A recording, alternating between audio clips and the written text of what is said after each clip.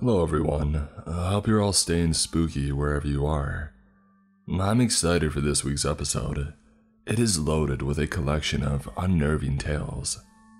Buckle up and enjoy the ride as we journey further into Mr. Creep's mind. My Last Call as an LAPD Officer, written by Leo of Alexandria.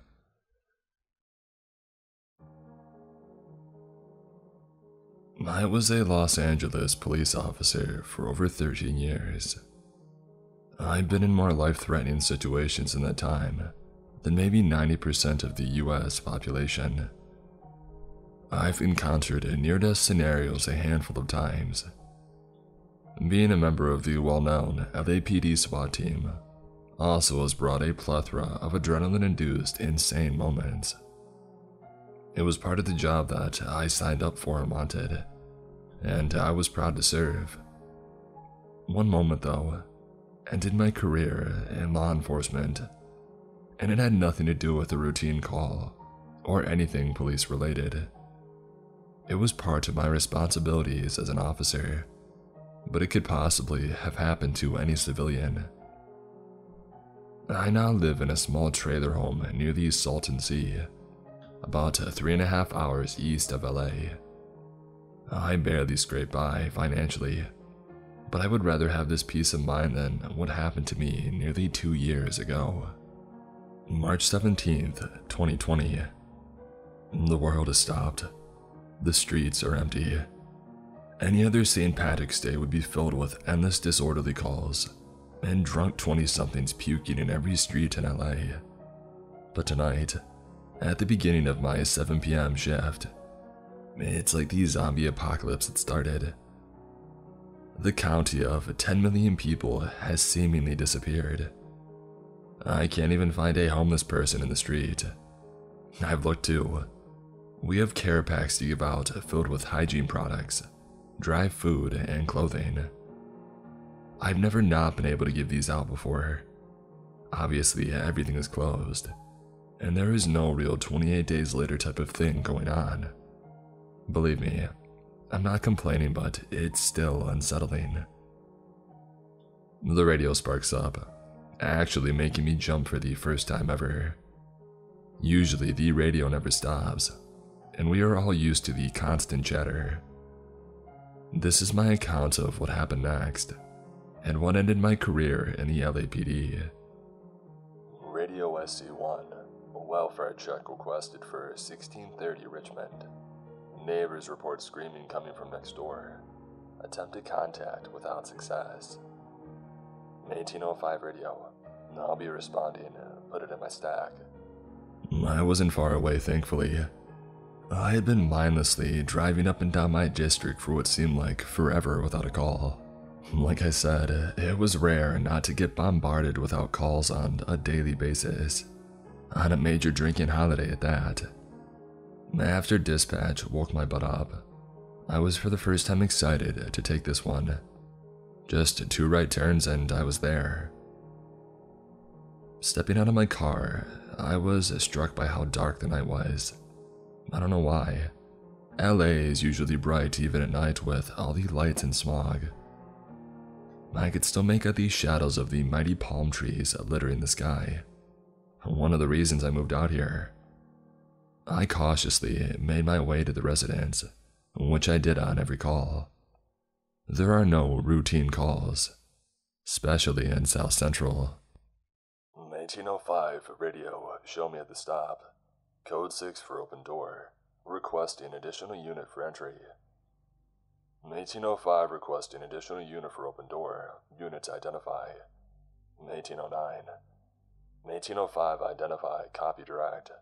I'll be at the southwest corner of Richmond and Kelly. 1809, copy that. After my partner arrived, we approached the residence. The home was devoid of all light. I had never seen a home this dark before. I know that it was late, but it was still strange. I made the front door, announcing myself as a police officer. Approaching a door is always dicey, but approaching an open door brings with it an entire new set of issues. I looked toward my partner, a guy that I didn't know all that well, but knew that he was a good cop. We nodded and made our way inside. LAPD, if there's anyone in there, identify yourself. Silence. We moved closer into the front hallway, toward what looked like a living room to our right, and a bathroom and maybe a bedroom further down the hallway. LAPD, we're looking for. Oh, I forgot who the homeowner was. I had to quickly look at my hand where I had wrote the info down. Mary Smith, husband Scott, said not home in three days, screaming heard. Anyone that is a cop or married to a cop is used to them coming home with novels scribbled all over their last dominant hand. Just the easiest way to do it, I guess we've all found. Mary, Scott, listen to the sound of my voice. We're from the LAPD. Please, come out if you're here. We're here to help you. I started moving through every room in the house, using my department issued Inforce flashlight attached to my G19. I would rather be ready than have to get ready. Going through dark room after dark room starts to make me more nervous than usual. I'm not an architect, but it didn't seem from the approach on the outside that this house had this many rooms. Two bedrooms at best, maybe one bath and one half bath. This area of LA is so compact that there isn't room for much else. Crap. One step crashing down to the floor below. My vision blurs and my focus changes to a lit up open space. Panting and getting up off my knees, I make sure that I'm okay and I get to my feet. 1805 radio. It looks like there's a trap door in the back of this house. Advised to watch footing. What the heck is this? It's like an underground bunker, but also like an office.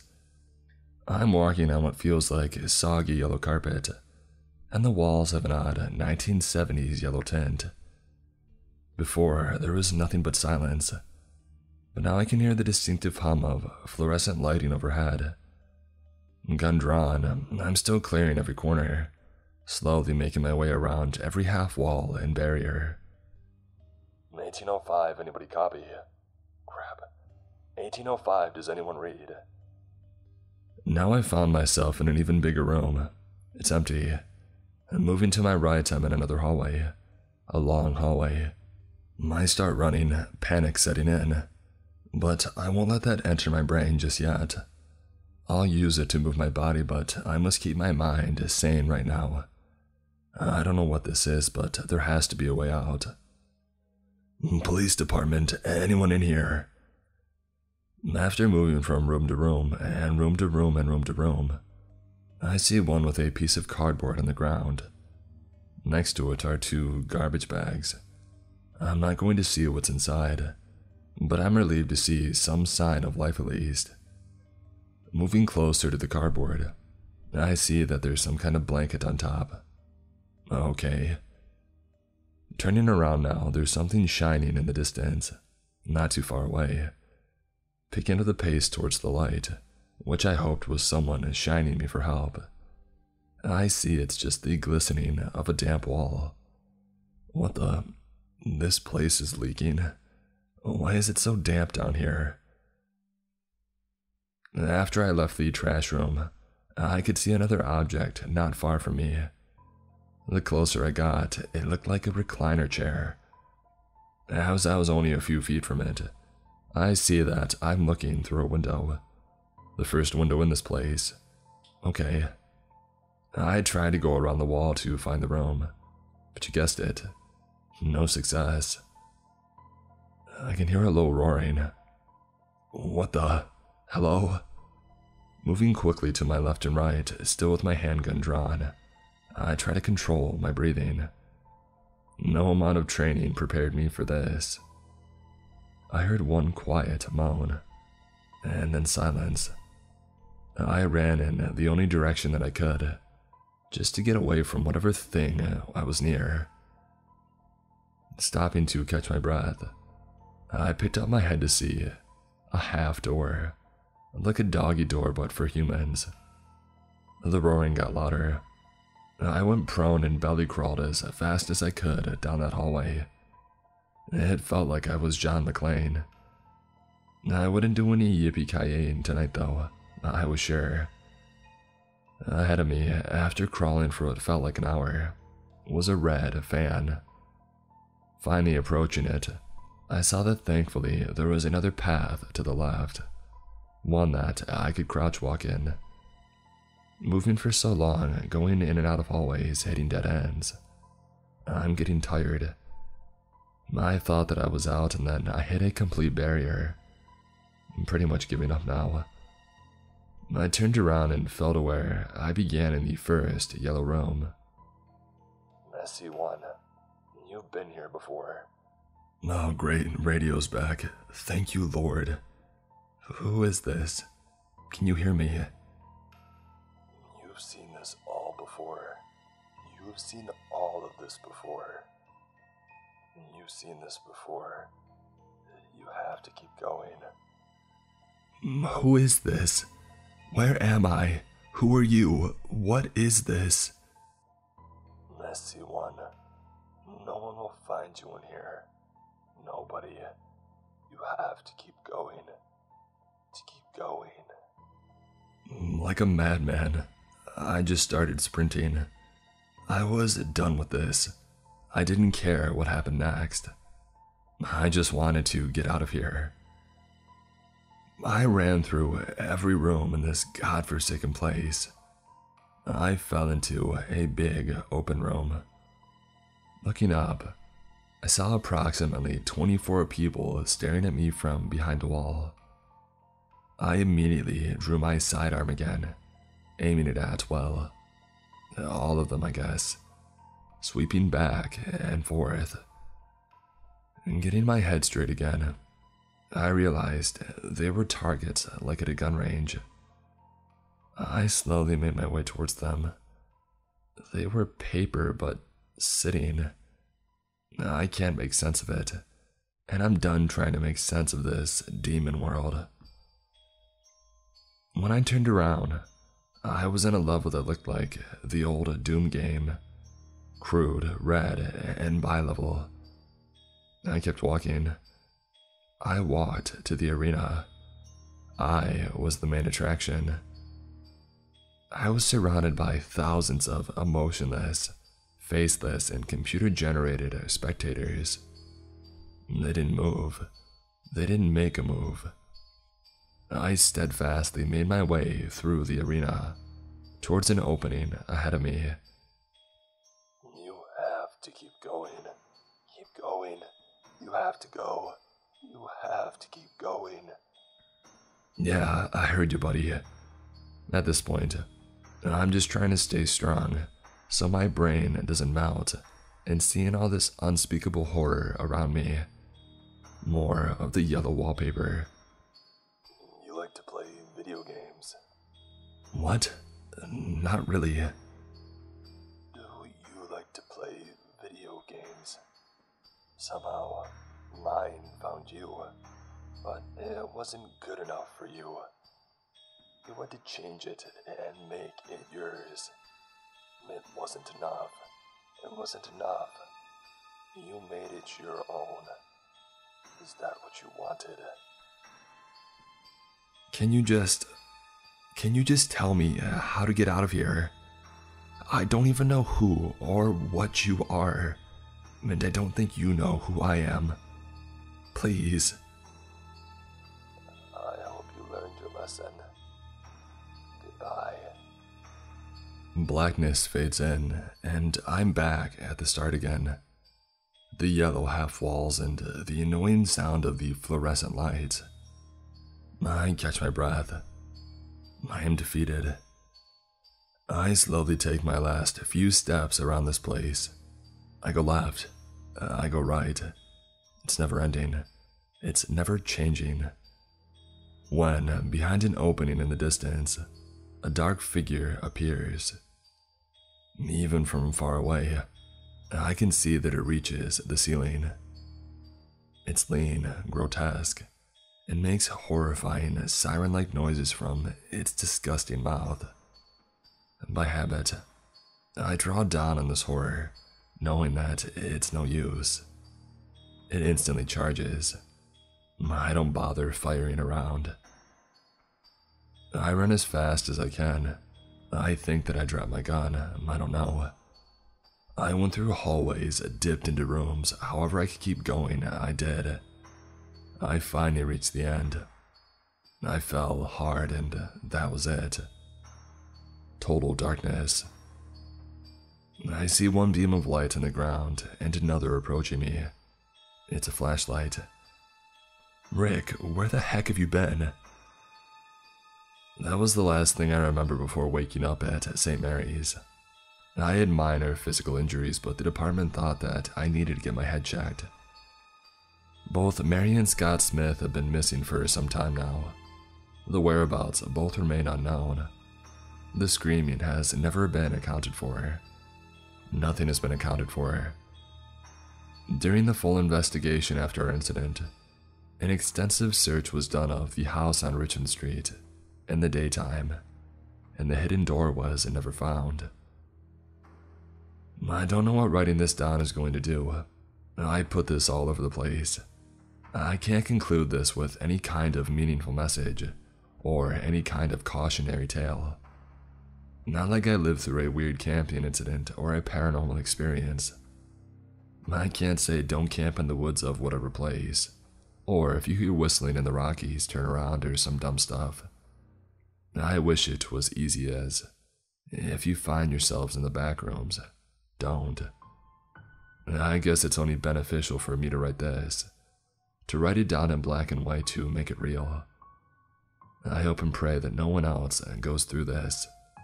I am fortunate to survive. Please, be safe, my friends. Please, survive.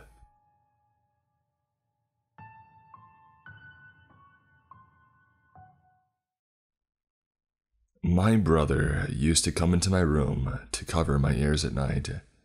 Written by Girl from the Crypt.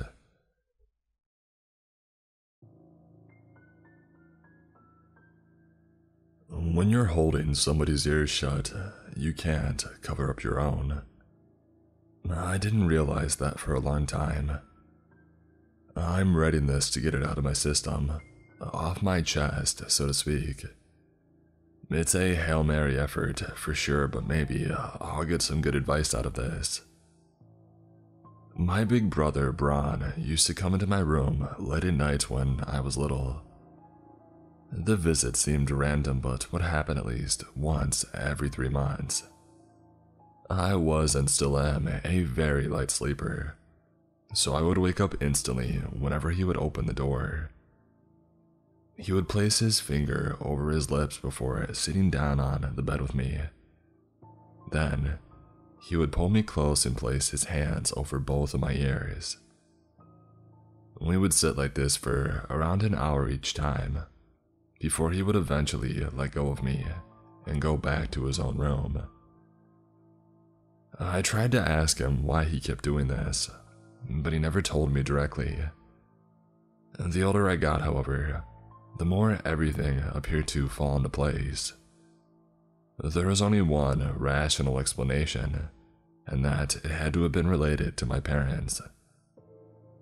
Mom and dad were a seemingly happy couple, they never fought, argued, or even swore in front of my older brother and me. But maybe that's what they were doing at night, and that's what Bron didn't want me to hear. So I started looking for signs, I suppose. Tension between my parents when us kids weren't in the same room with them. Well hidden bruises, broken objects around the house, many kinds of marks a physical altercation could have left. I was spying on them every free minute of my day, but uh, I found nothing. All was perfectly fine and normal. Obviously, I was glad mom and dad actually did get along as well as they made it seem. But with that possibility ruled out, the mystery of Bron's visit remained unexplained. I could have just asked Bron what he was doing, but that's not really how a kid's mind works. Or at least, it wasn't how my mind worked. The way I saw it, I had to make an effort to figure this out on my own. Like all those clever young detective nerds on TV, I really did feel a little like an investigator or a secret agent of sorts. That's a childhood innocence for you. For a long time, my search for answers yielded no results. I never quit and gave up on it though. Over the years, yes, this went on for years. I got better at sneaking around the house unnoticed. I learned how to walk without making any sound whatsoever. I would creep up to Braun's bedroom late at night, sometimes and peek through the keyhole. From what little I could tell by watching him, he never got up to anything suspicious either. So, if it wasn't mom and dad fighting, and if Braun wasn't being crazy, what was going on? By the way, Braun and I are roughly three years apart.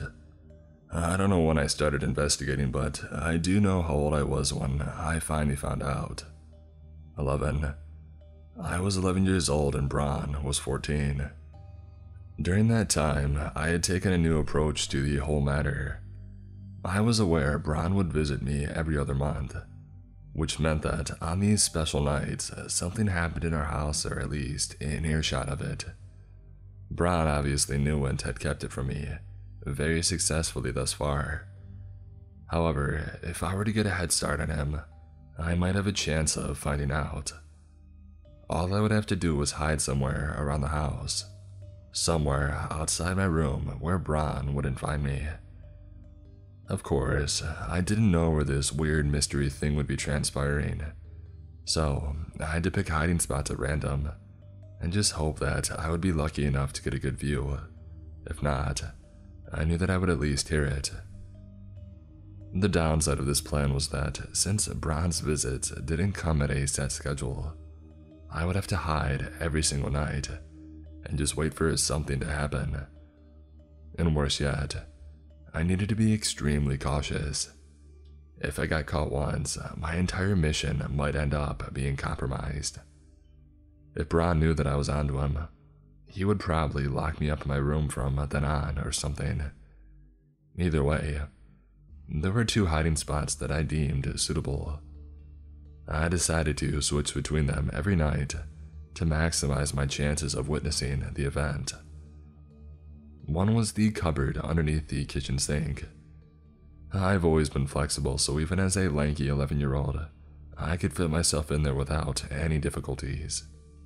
Then, I would simply keep the door open a crack and peer outside. From there, I had an excellent view of the kitchen and half of the dining room. The other spot was on top of the tall closet in the upstairs hallway. This lovely piece of old furniture was placed facing the staircase that led up to our bedrooms from the living room downstairs. It was where we stored all of our blankets, bed sheets, and towels so that any one of us could simply walk out from the room or the bathroom to take what they needed. Very accessible. The good thing was that there would always be blankets lying on top of the closet, too. So if I hid underneath those, I would have a good view of almost the entire living room, as well as the front door. On top of that, with a bit of quiet maneuvering, I would be able to tell what was going on in the hallway as well. The only thing I couldn't see at all was the kitchen and the dining room. I switched between those two spots every night. I'd be extremely sneaky about it. I would wait for Braun to come by and say goodnight like he always did, and wait until he returned to the living room. He would usually stay up much longer than me and watch TV downstairs with my parents. Once I was sure nobody was paying attention, I would either crawl down the stairs and into the kitchen cabinet on all fours or go out into the hallway where I would use the smaller chest of drawers beside the big closet as a sort of a stepladder to then hide under the blankets on top of it. In the meantime, I had also acquired the key to my room, and I would lock it from the outside as soon as I would leave for my hiding place. With that, I risk not being able to make a fast and silent return to my bed when in need but it would also buy me time when Braun would inevitably come to cover my ears one of these nights.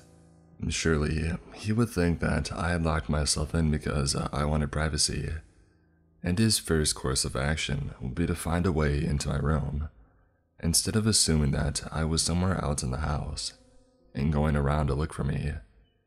So you see, I was very calculative in the way that I went about my plan. And then, the night came and it finally happened. I was hiding on top of the closet. Uh, I'm not sure if I should be lucky if I did. On the one hand, if I had been hiding in the kitchen, I would have seen little of what went down. But on the other hand, I really wish that I hadn't seen half of what went down. It started with me waiting for what felt like hours. Maybe it really was hours, who knows? I could hear the TV humming away downstairs, but nobody was talking. Kind of odd. Suddenly, I heard the front door being unlocked. In came my mother wearing high heels, a short red dress, and eye catching hoop earrings. I had never seen her dressed up like that, and I hadn't even known that she was going out that night. She was laughing loudly, her bright red lipstick shining as she switched on the light in the hallway. She wasn't alone. A man followed her inside. He was about the same age as her, dressed in a nice gray suit. I had never seen him before, but he was holding her hand. She pulled him into the hallway after her. He was laughing as well, and I could tell that he was drunk. Mom shut the door behind them, smiling wildly at the stranger. The TV was switched off. Dad and Bron emerged from the back of the living room, making their way into the hallway. The stranger, who was just taking off his coat, halted. Turning to my mother, he slurred, Hey, uh, I thought you'd be alone. She gave him a sweet grin and shrugged before turning and pressing herself up against the door, locking it behind her back. What? Was all the man could say before Dad wrapped his arm around him from behind and pressed his hand over his mouth. He was holding something white, like a handkerchief maybe. He stuffed it into the guy's mouth. The stranger tried to reach up and remove Dad's arm, but my father didn't let go. I stared at them in shock, unable to move. This wasn't really happening, was it? Hey, just stay still now, buddy, Dad said in a calm voice. The stranger whimpered through the gag and slowly lowered his arms. Braun, go take care of your sister. My older brother, who had been watching the scene with mild interest, nodded and proceeded to climb the staircase. I lowered my head, allowing the blanket that I had been peeking out from to swallow me whole. Braun's footsteps moved up the stairs and towards my bedroom door. I heard him press down on the handle to find that the door remained in place. My brother gave a low hum as he tried it again, and then again and again. The handle creaked quietly in protest. I shifted on top of the closet and I peered out to the side. As expected, Braun was standing outside my room, a look of alarmed confusion on his face. He raised his hand and ever so gently knocked on my door. April, he uttered. April, are you asleep? No response came from the empty room. April, he repeated in a low voice. Can I come in, please? Still nothing, of course. I stayed as silent as I could, hidden safely beneath the sheets. Meanwhile, the stranger was weeping quietly downstairs, his voice muffled by the gag Dad had put into his mouth. My parents were staying still, like they were listening in on what was happening upstairs. After some thinking, Braun raised his fist and banged it against the door with such force, the whole floor seemed to shake. I winced. My older brother then leaned against the door, pressing his ear to it. After a few seconds, he shook his head and went back downstairs. She's locked herself in. She seems to be asleep in there, though. Well, it was to be expected, Mom muttered. Girls want their privacy. We couldn't have made you keep barging in there anyways. We're gonna have to talk to her soon. I turned to my spot to look down into the living room again. What did she mean? They were going to talk to me soon. Were they planning on letting me in on whatever sick scheme this was? Bron seemed to know alright. I still didn't want to believe my eyes. Maybe I thought maybe this was all just a setup. They had seen me sneak around and this was my punishment. Maybe this guy was just an actor. Part of me was tempted to simply come out of my hiding spot and tell them that I had learned my lesson. But I wasn't actually naive enough to think that was the truth. I knew very well what was happening. Deep down, I knew. I just didn't have the strength to accept it. My disbelief was protecting me from the cruelty I was in the process of witnessing. What do we do with this one? Bron asked, pointing at the man restrained by my father's arms. What we normally do, Dad replied, just quieter. With that, he grabbed the stranger by the neck and slammed his head down against the banister. It collided with a loud thump. I pressed my hand over my mouth. The man's head left a red stain on the wood, and his body fell limp, folding over the staircase. Dad picked him up and proceeded to drag him off into the part of the living room that I couldn't see. Mom smiled at Bron and patted his shoulder. Sweetie, can you wipe that off for me? Come join us when you're done. My brother nodded, and while Mom walked after Dad, he went into the kitchen. He returned with a wet cleaning rag and started to work on the stain. Afterwards, he made his way back to our parents. I had no idea where they had gone exactly, but I figured it was the basement. They had probably exited through the back door. Once everything was silent, I slid off the closet and went back into my room. I lay down in bed and I stayed there until morning, despite being wide awake. I didn't run for the police or a neighbor. I didn't tell anyone a thing. In fact, I didn't talk at all. I would not open my mouth to utter a single word for four entire weeks after that night. At school, I didn't participate. I didn't talk to my friends or my brother or my parents. It was obvious to my family that something was wrong, and they would try to get me to tell them, but I stayed quiet. I don't know why exactly I didn't speak. Sometimes I actually wanted to, but when I would open my mouth, my mind would suddenly empty, and it felt like I had completely forgotten every word that had ever existed. That entire time, I knew that I had to tell somebody, but I didn't know how. I was scared that the police wouldn't take me seriously. I figured maybe I could turn to a teacher first, but I was afraid they wouldn't believe me and they would tell my parents. Four weeks later, the police were at our door. I hadn't been the one to inform them, and I felt terrible about it, but I couldn't have been happier. I saw them from my window as their cars pulled up outside of our house. I started to cry then. I knew that I should have said something sooner, and at the time, the guilt was killing me. With every day that I had kept my mouth shut, I had been scared that they would bring home another one, that someone else was going to die, and that it would be my fault for not doing anything. They didn't get anyone else before they were caught, though. It was over, and I was so happy. I'm not sure how exactly the police or whoever was on it at the time found out my parents were the ones that were responsible for 23 disappearances, and not just around town either.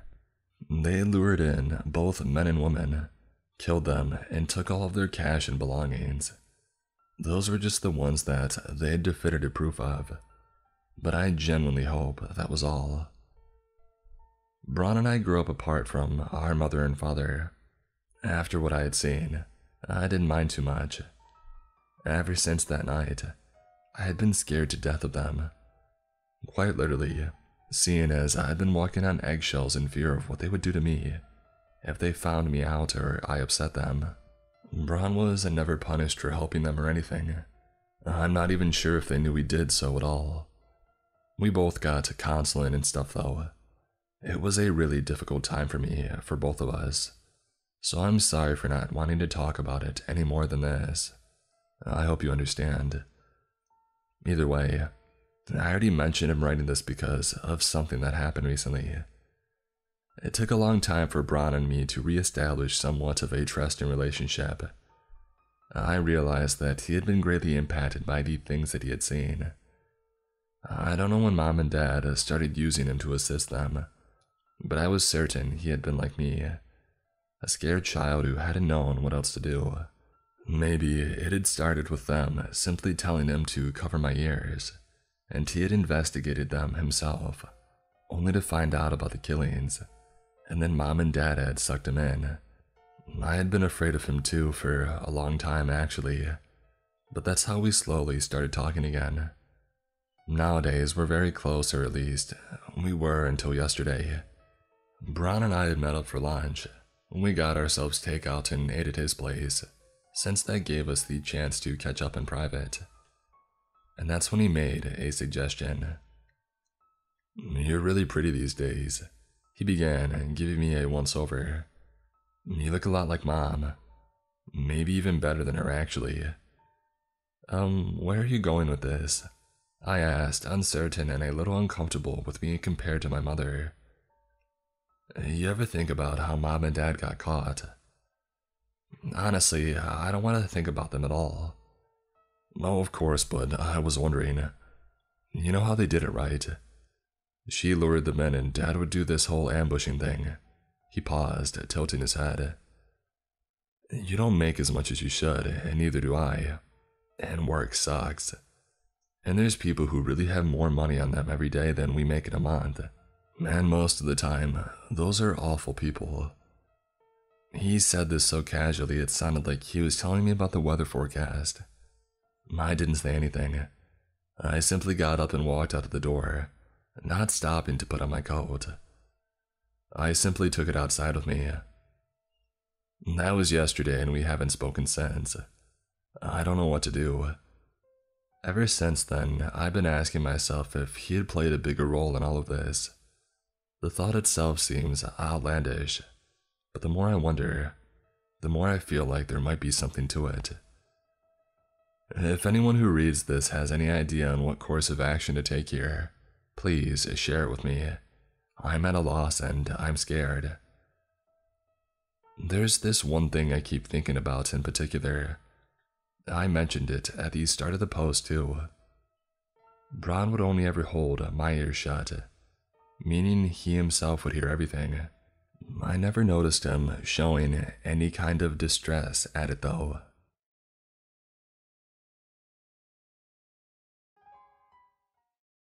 Everyone in my village keeps to themselves.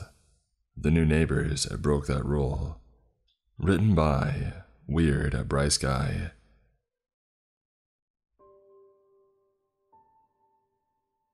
I don't usually go out of my way to introduce myself to new neighbors. I've lived in my subdivision for 10 years, and I've only formally met one of the four families that have moved into houses on my street. The other houses are occupied by families and single owners who have lived there for as long as I have. There is an unspoken agreement to leave each other alone. We all, for reasons that assuredly vary, greatly value our privacy. When the Kernstocks moved in across the street, I was, as usual, avoidant. I didn't go out and greet them during their day long rental truck unload. I did not make myself seen on my lawn or in my garage while they rested on and in theirs. I did not offer assistance when the father struggled to unload a large couch, while the mother and child carried in smaller boxes. I had nothing against these people, key tents being had, but I also had no incentive to help them. I respect the rule of the neighborhood I depend on it. People around here leave each other alone. The day of their arrival passed without incident, that is, without interaction. I successfully made myself scarce when necessary, and they never ventured across the street to introduce themselves. Likewise, the other homes throughout the neighborhood remained shut and quiet, as if they were unoccupied. The Kernstocks, whose name I learned by a novelty sign affixed to their mailbox, seemed from a distance like normal, nice people. But you should never judge a book by its cover, or a child by its feigned innocence. I went to sleep that first night thinking that the Kernstocks would do well in the neighborhood. When I awoke the next morning to find their child standing on my front porch, I immediately reevaluated that thought. I had gone out to grab yesterday's mail, which I had temporarily forsaken so as to avoid being seen. And upon opening my door, I came to find a 4 foot 8 human being standing barefoot on my welcome mat. I did not know why I owned a welcome mat.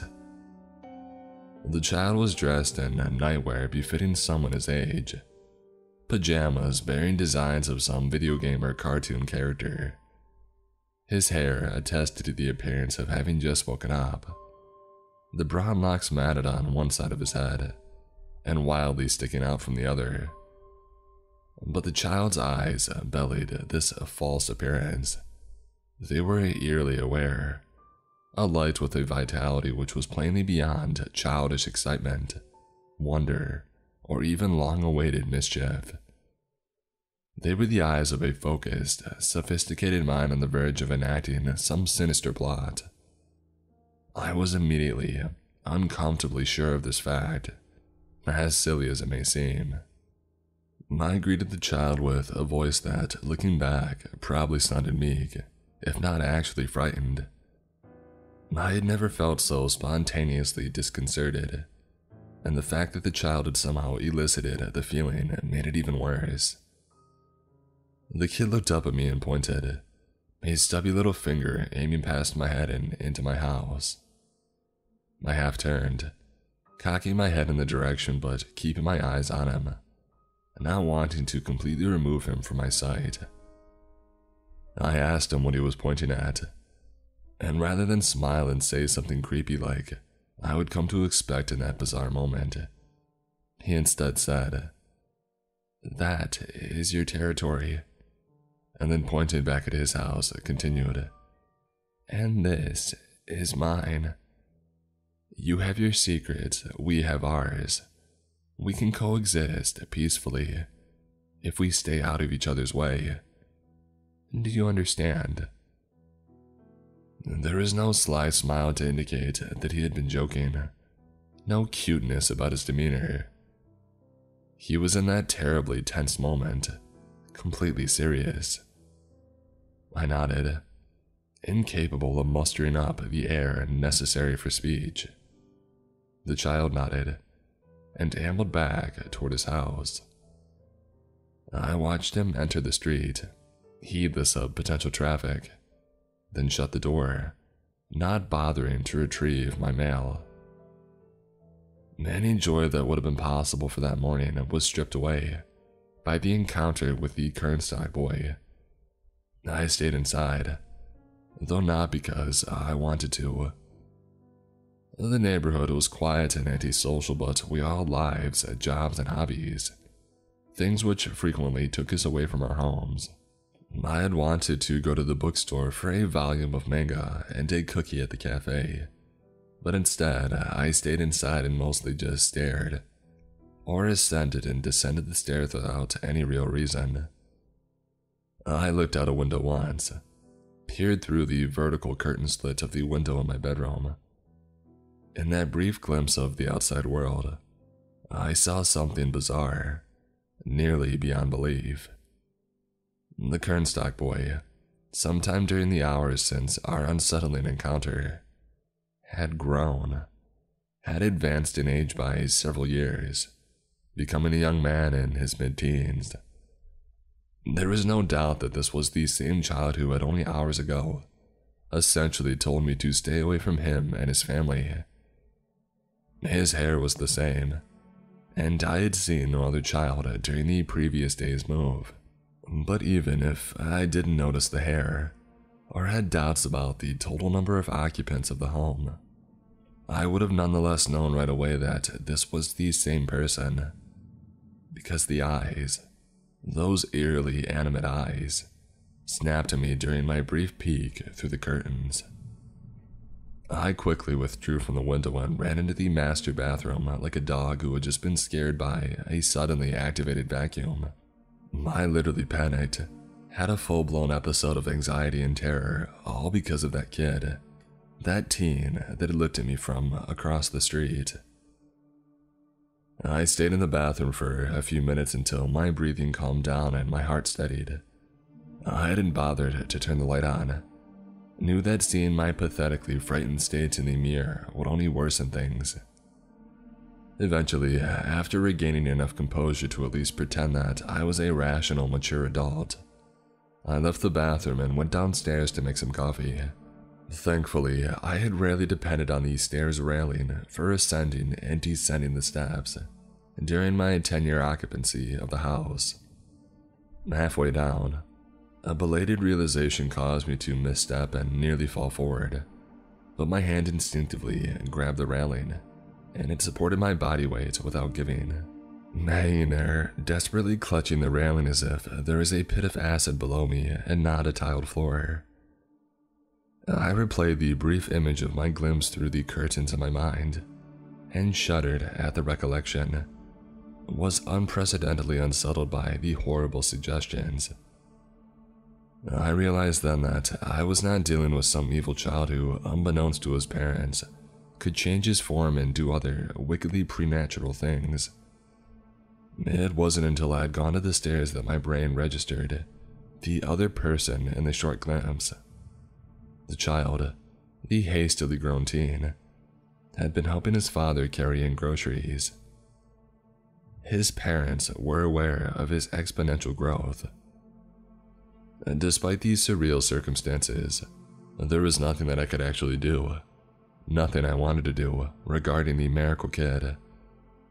Like with most things that are, compared to our regular lives, amazing or even terrifying, it eventually lost its flair as the hours went by and the priorities of my own life had reintroduced themselves.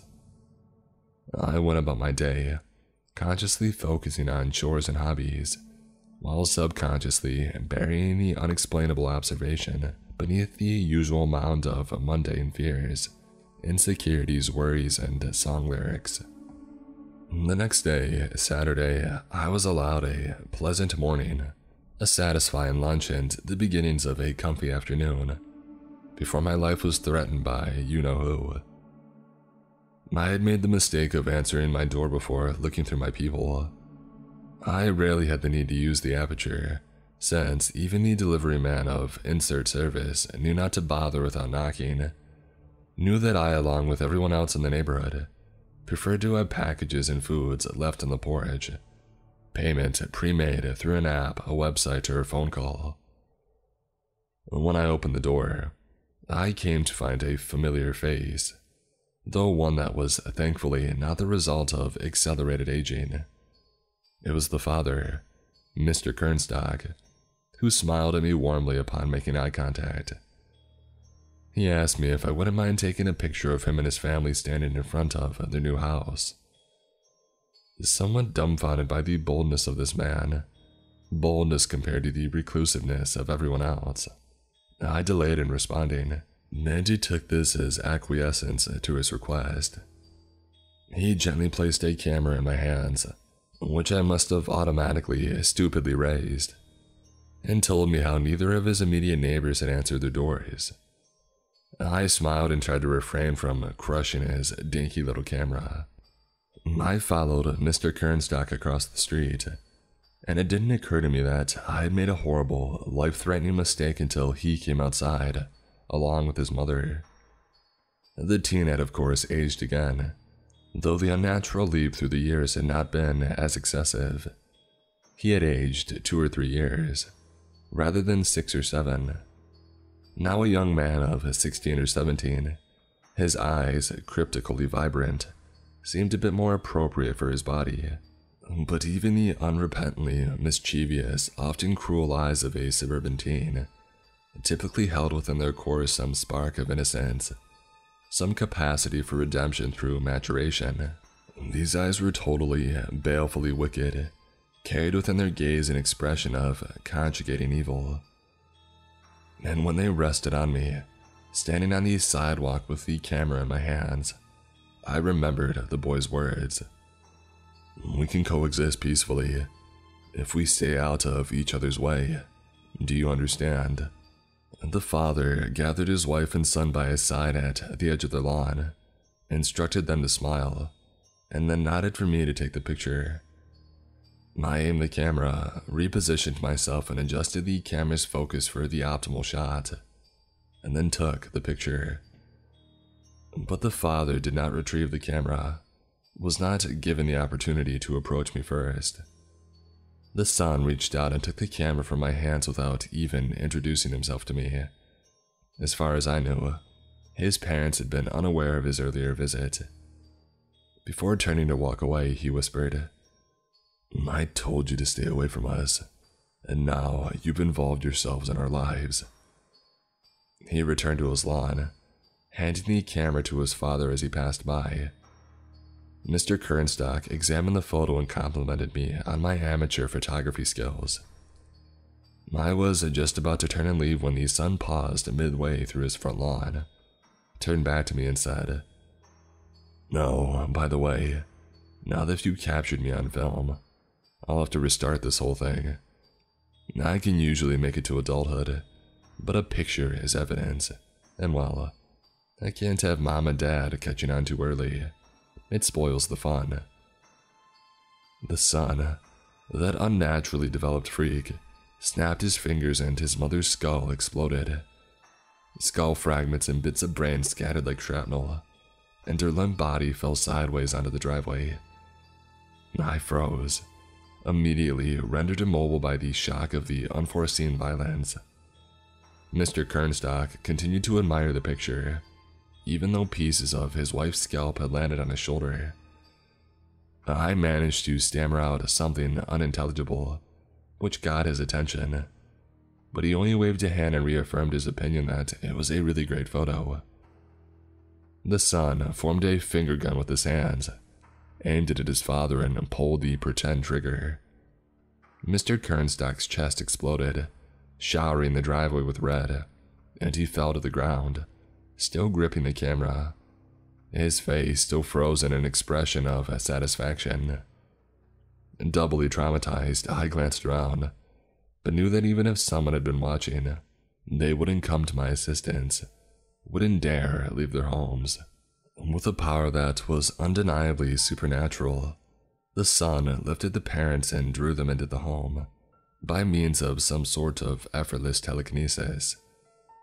The bodily debris were left on the lawn and driveway, a grisly reminder of his atrocious feats. And then, in another show of his appalling power, he de-aged himself back to the state he had been in when he had first appeared on my front porch. Before returning to his home, he picked up a piece of flesh it at me. A sickeningly wet shred struck my face and stuck, but I was helplessly petrified. The piece wasn't removed. The son, the boy, laughed in a perfectly normal, innocently childish way, and then snapped his fingers once more. This final feat threw me into darkness, a state of instant and deep sleep. When I awoke, it was a new day. I had slept roughly 16 hours. I unsteadily got out of bed, hoping that the last couple of days, or at least the previous day, had been a terribly vivid nightmare. But when I went to the bathroom to relieve my bladder, my reflection in the mirror banished all hopeful thoughts from my mind and sent a boreal chill through my body. Stuck to my left cheek was a piece of dried human flesh. Stay Out of the Abandoned House in the Woods. Written by Jay Group.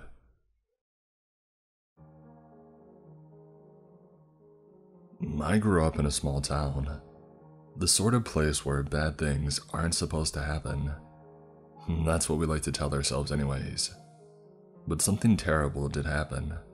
Something I don't ever talk about, that I haven't shared with anyone since it occurred. Hallows End has old roots. Lots of folklore and history surround this place. Ruins of old structures, churches and government buildings, and other ancient things lost to time dot the sprawling, forested landscape of our town. As children, grown ups would occasionally tell us tales detailing the origins of these ruins. The stories were often steeped in magic, detailing horrifying events that didn't add up. Creatures coming from the wilderness at night, trials of a witch woman who would kidnap children and farmhands who were never again seen. It wasn't until later on in life that I realized most towns didn't have those types of stories. Those recollections were quite unique to our town. But still, as a kid, my favorite stories were always the scariest. The one about a sanctuary deep within the local forest caught the interest of everyone my age when we had heard about it. Temple of Doom had recently come out when we learned about the place from a speaker at school during a local history class. Most of us had never heard the story, and word spread like wildfire about the mysterious ruins in the forest that could no longer be found. Sinister things had happened there according to the friendly looking, bespectacled man who stood speaking in front of our class. A coven or a guild of some kind practiced their dark arts in that place, kept rituals and ceremonies that were hidden from the public eye. People had gone missing from the nearby village, and a couple hundred years ago, a slew of questions began to arise about what exactly was happening at this temple of evil, which existed deep within the forest. The local townspeople had raided the sanctuary, invaded the Dark Temple, and put the inhabitants of the place to death in the most horrifying ways imaginable. Only the eldest and wisest among them, their leader, had escaped. Their identity was never known to the public.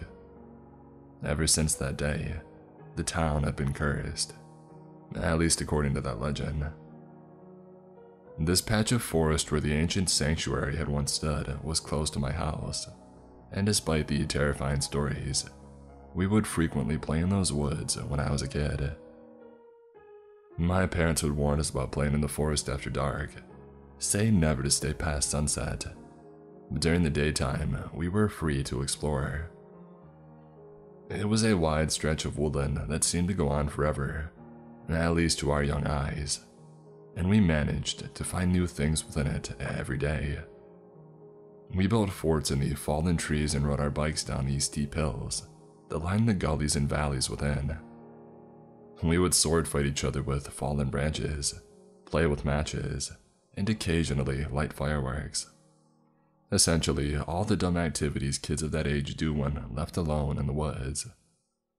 It was our getaway, our own private, natural playground that extended for acres and acres.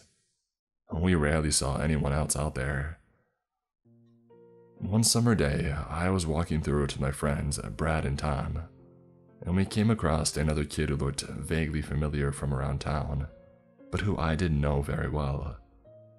He was walking along in the forest and looked kind of sad all by himself. Hey man, I said, trying to sound friendly.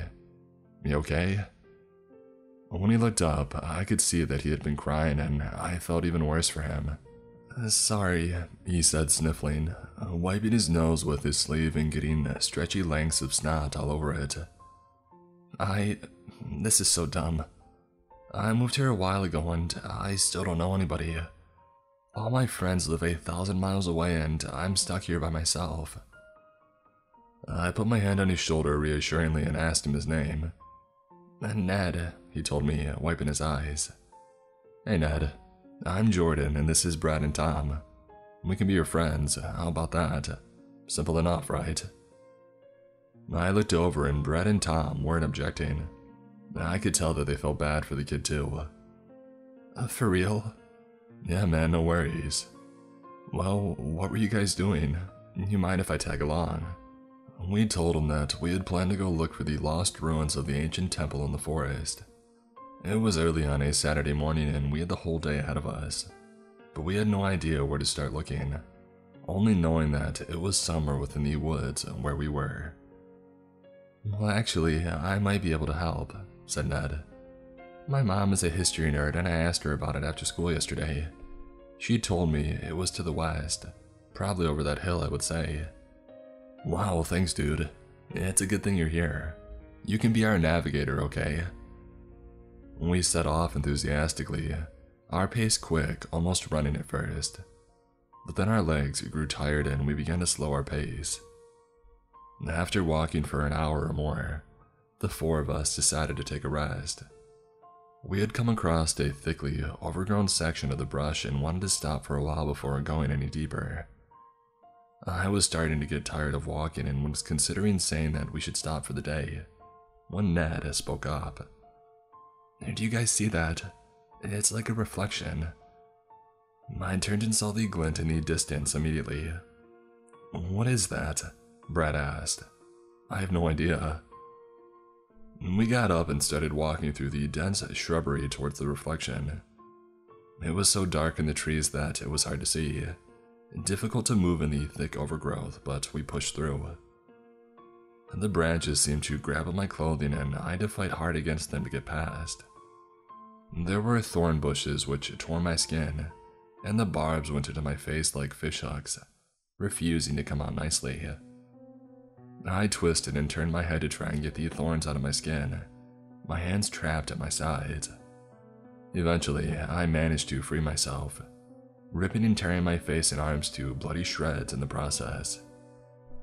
I looked around and saw that I was scratched and red with blood, but I managed to get out of the thorns and thistles and I pushed through, finally coming out into an opening.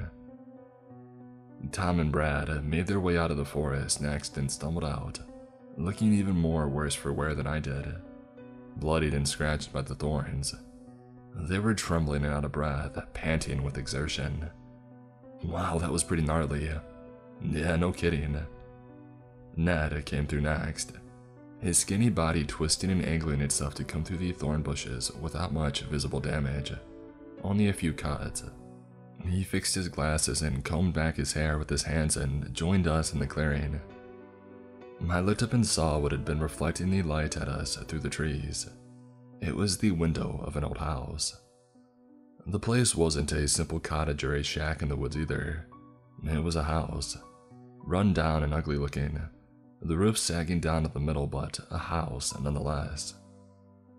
The siding had been painted red at some point in the past, I had guessed, but had taken on a dusty, dingy brown shade after years of neglect. Several of the windows were broken, but others remained intact. Shutters were hanging loose and askew, and the whole place had a haunted, lonely vibe to it that I didn't like very much. Whoa, there's a house out there? Who the heck builds a house in the middle of the forest? I couldn't answer that question, but guessed that it was someone who really wanted to be left alone. Shivers ran down my spine thinking about that, and I began to feel more and more afraid. It would take a very committed hermit to craft a retreat like this. The place was as secluded as it gets. Guys, maybe we should go. You never know, there could still be someone living in there. The three of us stared at the entrance, and I noticed the door was ajar. It was hanging open invitingly, swaying in the breeze as if it were waving and beckoning us to come in.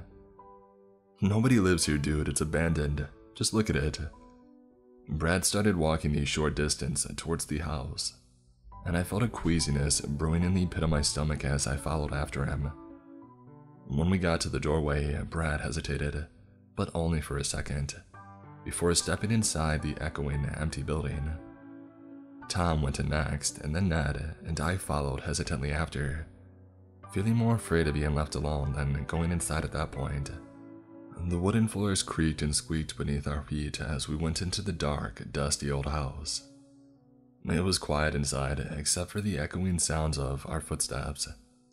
Empty aside from a few things an old cast iron frying pan which was rusted and covered in dust, and spiderwebs had been left on the floor.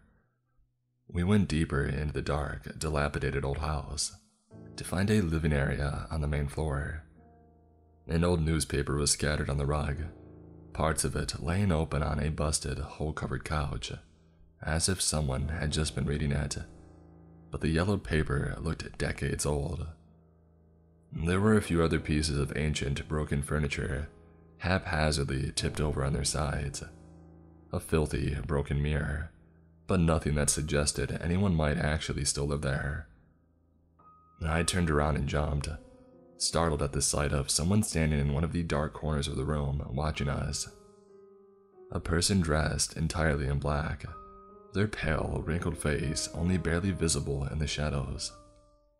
I screamed, pointing at the corner where the thing stood watching, but then realized it was only an old coat stand with a wrinkled white hat on it. Brad, Ned, and Tom had a good laugh at that one. We started backtracking towards the main entrance and saw that there were a couple of closed doors off the main hallway. The first one was located next to the front door. Brad, the daredevil that he was, decided he would open it. I watched as he twisted the knob slowly and carefully, opening the door to reveal a small, darkened space. It appeared empty aside from an old broom and some wire hangers. Boring, said Brad. I didn't share his sentiment. This whole place felt off. It was making the hair stand up on the back of my neck and it was making me feel nauseous, cold and sweaty all at the same time. Ned walked over to the other door. He took a deep breath and raised a trembling hand to open it. The darkness was gradually flooded with dim light as he pushed open the wooden door, its rusted hinges squealing. Just an old bathroom, said Ned, looking inside. You guys want to go check out the upstairs? Hey, hang on, what's that? Tom asked, eyeing the wall at the far end of the darkened room. We all crowded around to look and saw immediately what he had noticed. A piece of vermilion fabric was showing from beneath the baseboard near the bathtub. What the heck? Brad marched in and pulled on the fabric to pick it up. It stuck. That was when I noticed the long, rounded black marks on the floor. Um, guys, I think this wall might not actually be a wall. They all looked at me and followed my gaze down to the marks on the floor, barely visible in the darkness. Whoa, okay, now things are getting creepy. Is this a secret passage or something? Only one way to find out. Come on, let's try to get it open.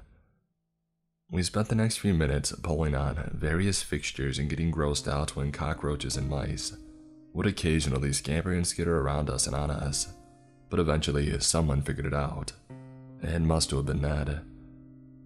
He pulled on the chain which was connected to the plug in the bathroom sink, and surprisingly, a sound began like gears ticking. The entire wall began to swing in towards us, and we had to take a step back to let it open. The well hidden, secret doorway revealed an ancient looking set of stairs, which went downwards for a long, long ways. The small amount of light quickly dissipated, and nothing could be seen below in that horrifying pit of darkness. Immediately, I lost any courage that I had left. This was beyond anything we were prepared for. But we had found what we were looking for. We were almost immediately sure of that. Hidden beneath this well camouflaged house in the woods, existing against all common sense, were these subterranean ruins of the ancient sanctuary that we had learned about in history class. Check out those carvings on the walls, exclaimed Ned, remain behind us in the small space. We moved forward and saw that there were indeed carvings, elaborate reliefs and images hewn from the stone adorning the passageway leading downwards. The three of us crowded around the doorway, scared and excited, looking at the carvings. They showed terrible images, and I wondered immediately why anyone would want to make art depicting such bad things, such darkness. I guess my grandpa was right about the ruins being over in this direction. You guys want to go down and check it out? A tingling sensation was covering my entire body, goosebumps rising on my skin. Something about his voice wasn't quite right. And hadn't said that it was his mom who was the history nerd? She was the only one who had told him in which direction the temple ruins lay. Or was I mistaken?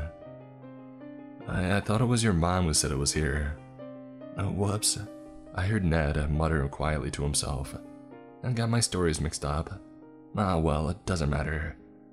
Suddenly, I felt him push me from behind with such force that I went stumbling forward into Brad and Tom, off balance and unable to stop myself from falling over the precipice. The three of us tumbled violently and bone shatteringly downwards into the blackness below, crashing and bouncing against the hard rock and its sharp edges.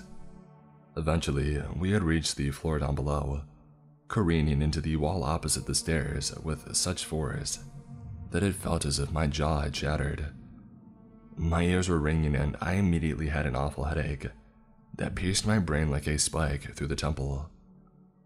I was barely conscious and in such horrible agony that I barely registered the demented laughter coming from up above for a few long moments. Of course, it was Ned. It had been him from the beginning. He had led us to this dark temple in the forest, just like the terrifying stories that we had heard in history class. I heard the murmur of echoing voices and footsteps approaching in the dark, and my heart began to pound with fear like never before. What had we gotten ourselves into? Have you ever trusted someone and gotten burned? Helped someone and had your kindness repaid with suffering? Well, then you can relate to how I was feeling when I woke up in the blackness beneath the abandoned house in the woods. The rough stone floor was cold beneath me, and I struggled to focus my aching head swimming in the darkness. Had I lost consciousness for a brief second? Yes, it seemed as if I had. We were in a house, I remember that, but this wasn't a house. It was a terrible, dark, cavernous dungeon sort of place that I didn't like at all. Not one bit. And the sound of footsteps drawing near made my heart jackhammer with fear, knowing immediately that they did not belong to someone friendly. There had been an abandoned house in the woods. We had gone inside, me, Brad, and Tom. Except there had been someone else with us Ned. It all came flooding back to me in an instant, and with it came the pounding, incessant pain in my temples. I tried getting to my feet and fell backwards off balance. The footsteps were getting closer. I started to shake Brad and Tom, whispering to them, Get up, get up, someone's coming. Tom grunted and looked like he was maybe going to wake up, but Brad just lay there looking pale and cold. He didn't make a sound, his breathing shallow and barely noticeable. The flame of a torch was getting closer, turning from a firefly into a candlewick in size, and I instinctively hid. I ran to the first concealed place that I could find, beneath these stone stairs just a few yards away, managing to wedge myself into the tight space just before the approaching men were within range to see me. Looks like Nettie screwed up again, said one of the men laughing. He kicked Tom with his shoe, and he groaned and blinked his eyes at groggily, seeming not to understand what was happening. Nah, he'll get it one of these days. Give him a break, he's still a kid. Just get him upstairs to the pitfall. That's all he's got to do. Pull the dang lever when they're all in the bedroom, and he won't have to have these sorts of problems. He kicked Tom harder again. That's why we built the dang thing. Wouldn't have bothered if he was just gonna keep shoving them down the stairs. Yep, at least this one's knocked out cold. There were three of them, all dressed in long, hooded, vermilion robes. The same color as the scrap of fabric we had found beneath the hidden door in the bathroom. It was all starting to come together as I overheard them talking. Ned was the one who lured kids out into the forest to find the abandoned house. They were making people disappear in this place, just like the stories we had heard about in history class. But we weren't supposed to see the hidden door in the bathroom, I surmised. The last thing he had said before we noticed the scrap of fabric and these scuff marks on the floor, indicating the secret passage was there, was that we should go check out the upstairs. So the real trapdoor, or whatever it was that dropped people down into this dungeon, was actually up there. Which meant the door we had come through had not been used for its intended purpose. Was that maybe the way these evil people got in and out of here? And if it was, maybe there was a latch or lever that would let me out. And perhaps there was hope for me after all. But I couldn't just leave my friends. As scared as I was, I needed to see what was going to happen to them and if I could still save them. Besides, Ned was still up in the house for all I knew. He hadn't followed us and so had perhaps taken some other route down into the dungeon. There was also still the chance that he was up there waiting for us to try and escape. I couldn't take the chance. The terrible headache was making it difficult to think. I couldn't focus, and only knew that I wanted to try and help my friends as terrified as I was. So, when the three men picked up my friends and started to carry them away, I followed after at a distance. I felt as if I was unsafe no matter what I did, so my panicked mind instinctively wanted to stay with my friends and with the light. That's all I can say to justify it in retrospect. I wish I had just run and taken my chances up in the house against Ned, though. I will never be able to unsee the things that happened after that. I followed the men, dragging my friends away, quickly realizing I would have to keep track of each turn, as the maze like subterranean tunnels seemed to go on forever. To help myself get back, I left a penny from my pocket at each left or right, heads for left, tails for right. This place was ancient by the looks of it and more elaborate than anyone could have imagined. There were hieroglyphics and murals, symbols, and colorful imagery painted on the walls, but it could barely be glimpsed in the darkness. I got the impression that there was once a great society living beneath the ground here, unknown and unmentioned in the history books. The torchlight flickered and dissipated up ahead, and I had to pick up the pace to keep up with the men terrified of being left alone in the dark maze where I would no doubt roam lost forever. I realized when I heard Tom waking up and screaming that they were hurrying their pace because he was fighting and struggling with them. Suddenly, they turned a corner, and they were gone. I caught up and looked around the sharp rock wall to see a vast open chamber. There was a throne and a dais which was ornate and covered in dark purple and black jewels. Candlelit chandeliers hung suspended from the ceiling, and the huge room echoed within the movements of the hooded men. There was someone sitting upon the throne, dressed in a long hooded vermilion robe. Their faces were shrouded in darkness and they sat waiting, looking impatient. Two smaller thrones were set up on either side of this person, who I assumed was the leader of their group. You have done well once again. What have you brought us this time? servants of the many legged god, came a feminine voice from the center throne. Two young spirits, mother of mothers, we bring them to you so that you may mold them to your purposes, to the purpose of the Dark Temple. May they bring you many years of servitude, and may their spirits and wills be easily broken. The hooded woman on the throne in the center raised her long hand up and summoned the men to come forward. They did, appearing cautious and afraid. Closer. They went closer. The mother of mothers, as the man had called her, did not seem pleased after all. She reached out and grabbed the man by the throat, and the other two backed away, trembling. How exactly am I supposed to make a life bonded servant of a dead boy? My heart stopped in my chest for a moment, hearing that. Brad had looked pale and his breathing had been shallow after the fall down the stairs. Maybe now it had stopped entirely. He had looked pretty rough after all. She continued to strangle the man with one strong hand, and I realized suddenly how tall she was. She towered over the men when she stood up, probably over seven feet. She released her grip for a few moments to let him speak. I'm sorry, Mother. I'm so sorry. Please forgive me. It was Ned. That boy is obstinate, but I will teach him. I will teach him to be better, I swear. I will make him understand.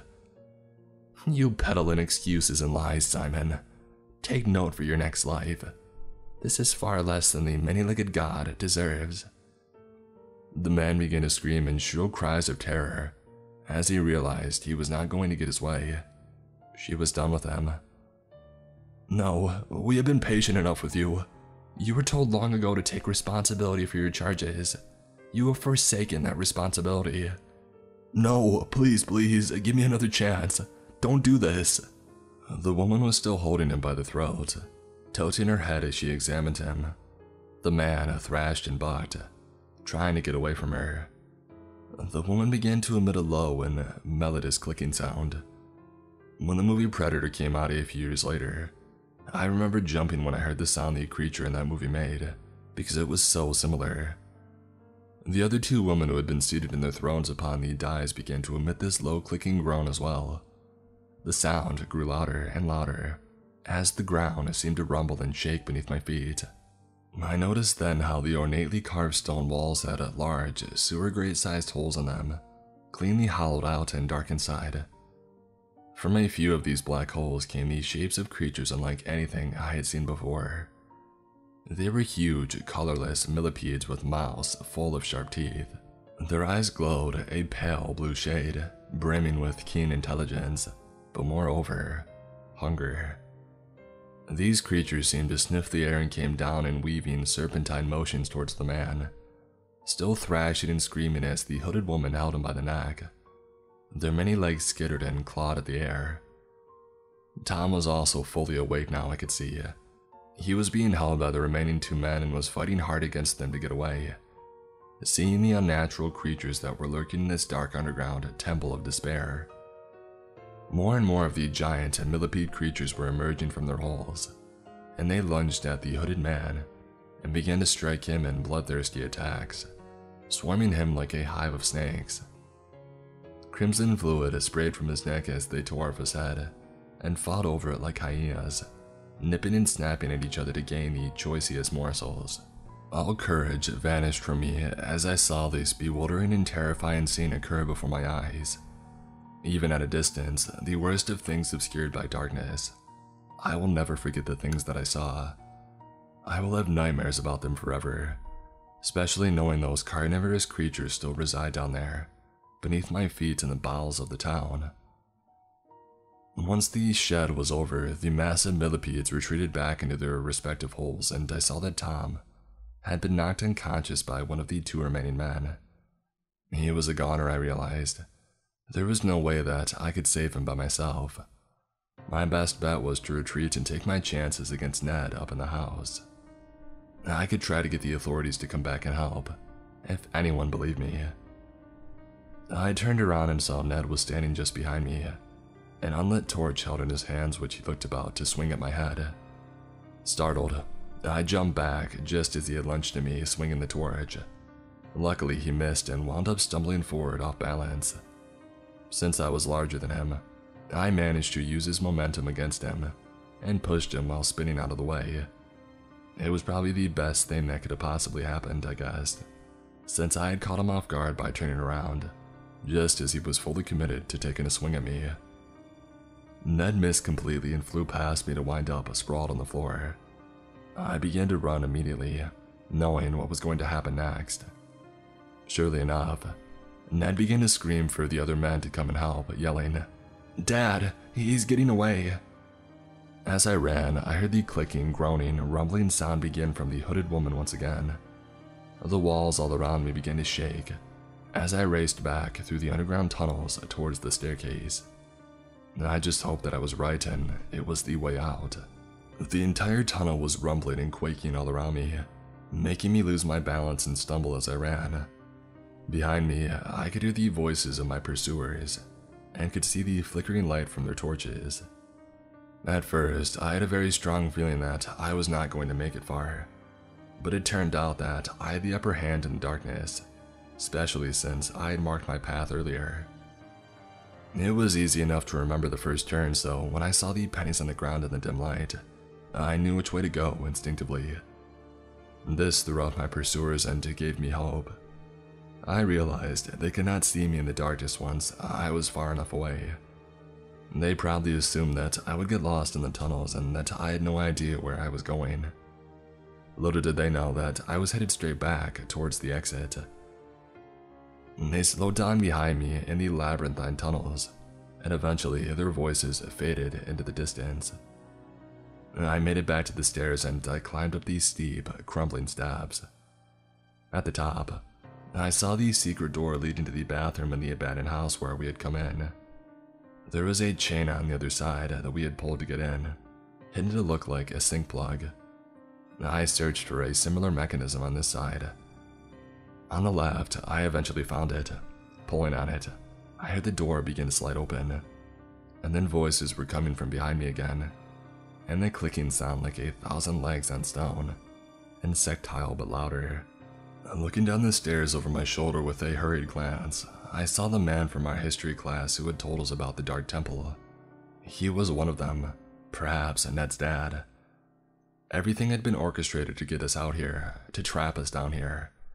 This place was an unholy sanctuary to some ancient and terrible god, subterranean and evil, the many legged god. The people who lived down here had their own system, their own world, and I wanted no part of it. They needed a fresh offering, though, and they were intent on keeping their secret. The bespectacled man raced up these steps towards me, not yet seeing what was coming out of the stonework on either side of my head. I saw the holes bore out of the stone walls on either side of me, the size of sewer grates. As the door slowly opened, I saw the creatures emerge from their burrows, closing in on me, their antennae twitching and mandibles clicking as they sniffed the air. The man reached me without seeing the creatures emerging from the shadows. He lunged at me, and I ducked just as he did so. All I heard was screaming as the creatures attacked him, too hungry to pass up a meal. His red spraying the walls of my face with warm, crimson fluid. As the huge millipedes attacked the hooded man, I moved as quickly as I could out through the open door and ran. Ned's screams mixed with his father's as I emerged in the bathroom of the abandoned house in the woods. I pulled the chain quickly, causing the secret door to slam shut behind me, closing off the madness that it concealed. The wailing cries of pain and terror shut off abruptly as it closed, and it left me with the sound of my own horrified heartbeats pounding in my ears. The light of the sun blinded me when I left the house. It had been so dark down in the tunnels, but my eyes adjusted and I made my way through the painful thorny thicket and I ran back home.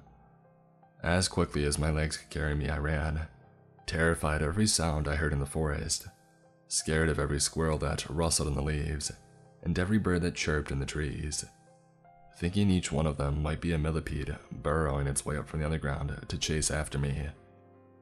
No wonder my parents had said to stay out of the forest after dark. This thought should have clued me into what happened next. I should have realized that my parents knew more than what they were saying, right from the beginning. I got home panting and out of breath and begged my mom and dad to call the police. I began to tell them what had happened to Tom and Brad, and they stopped me and just shook their heads.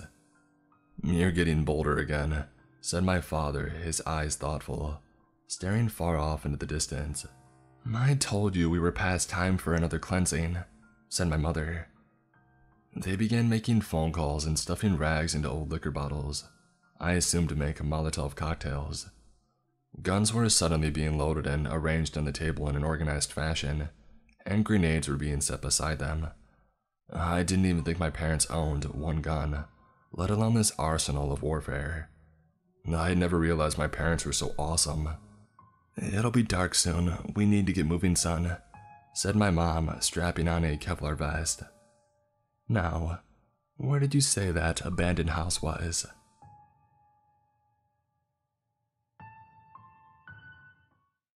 I am a psychologist.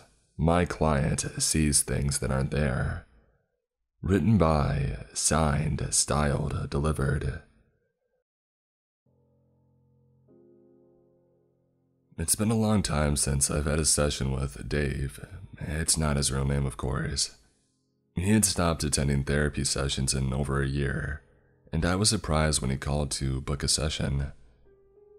He had first come to me a few months after he had been diagnosed with schizophrenia at age 29. His then partner had shared through a veil of tears about how his quality of life had deteriorated over the past two years. She first became alarmed when he had started to overlook his hygiene, his dressing, not seeming to care about how he appeared to others. He had insisted that he was fine, but then he had withdrawn from his friends and family. He only spoke to her, and eventually started to ignore and neglect her as well.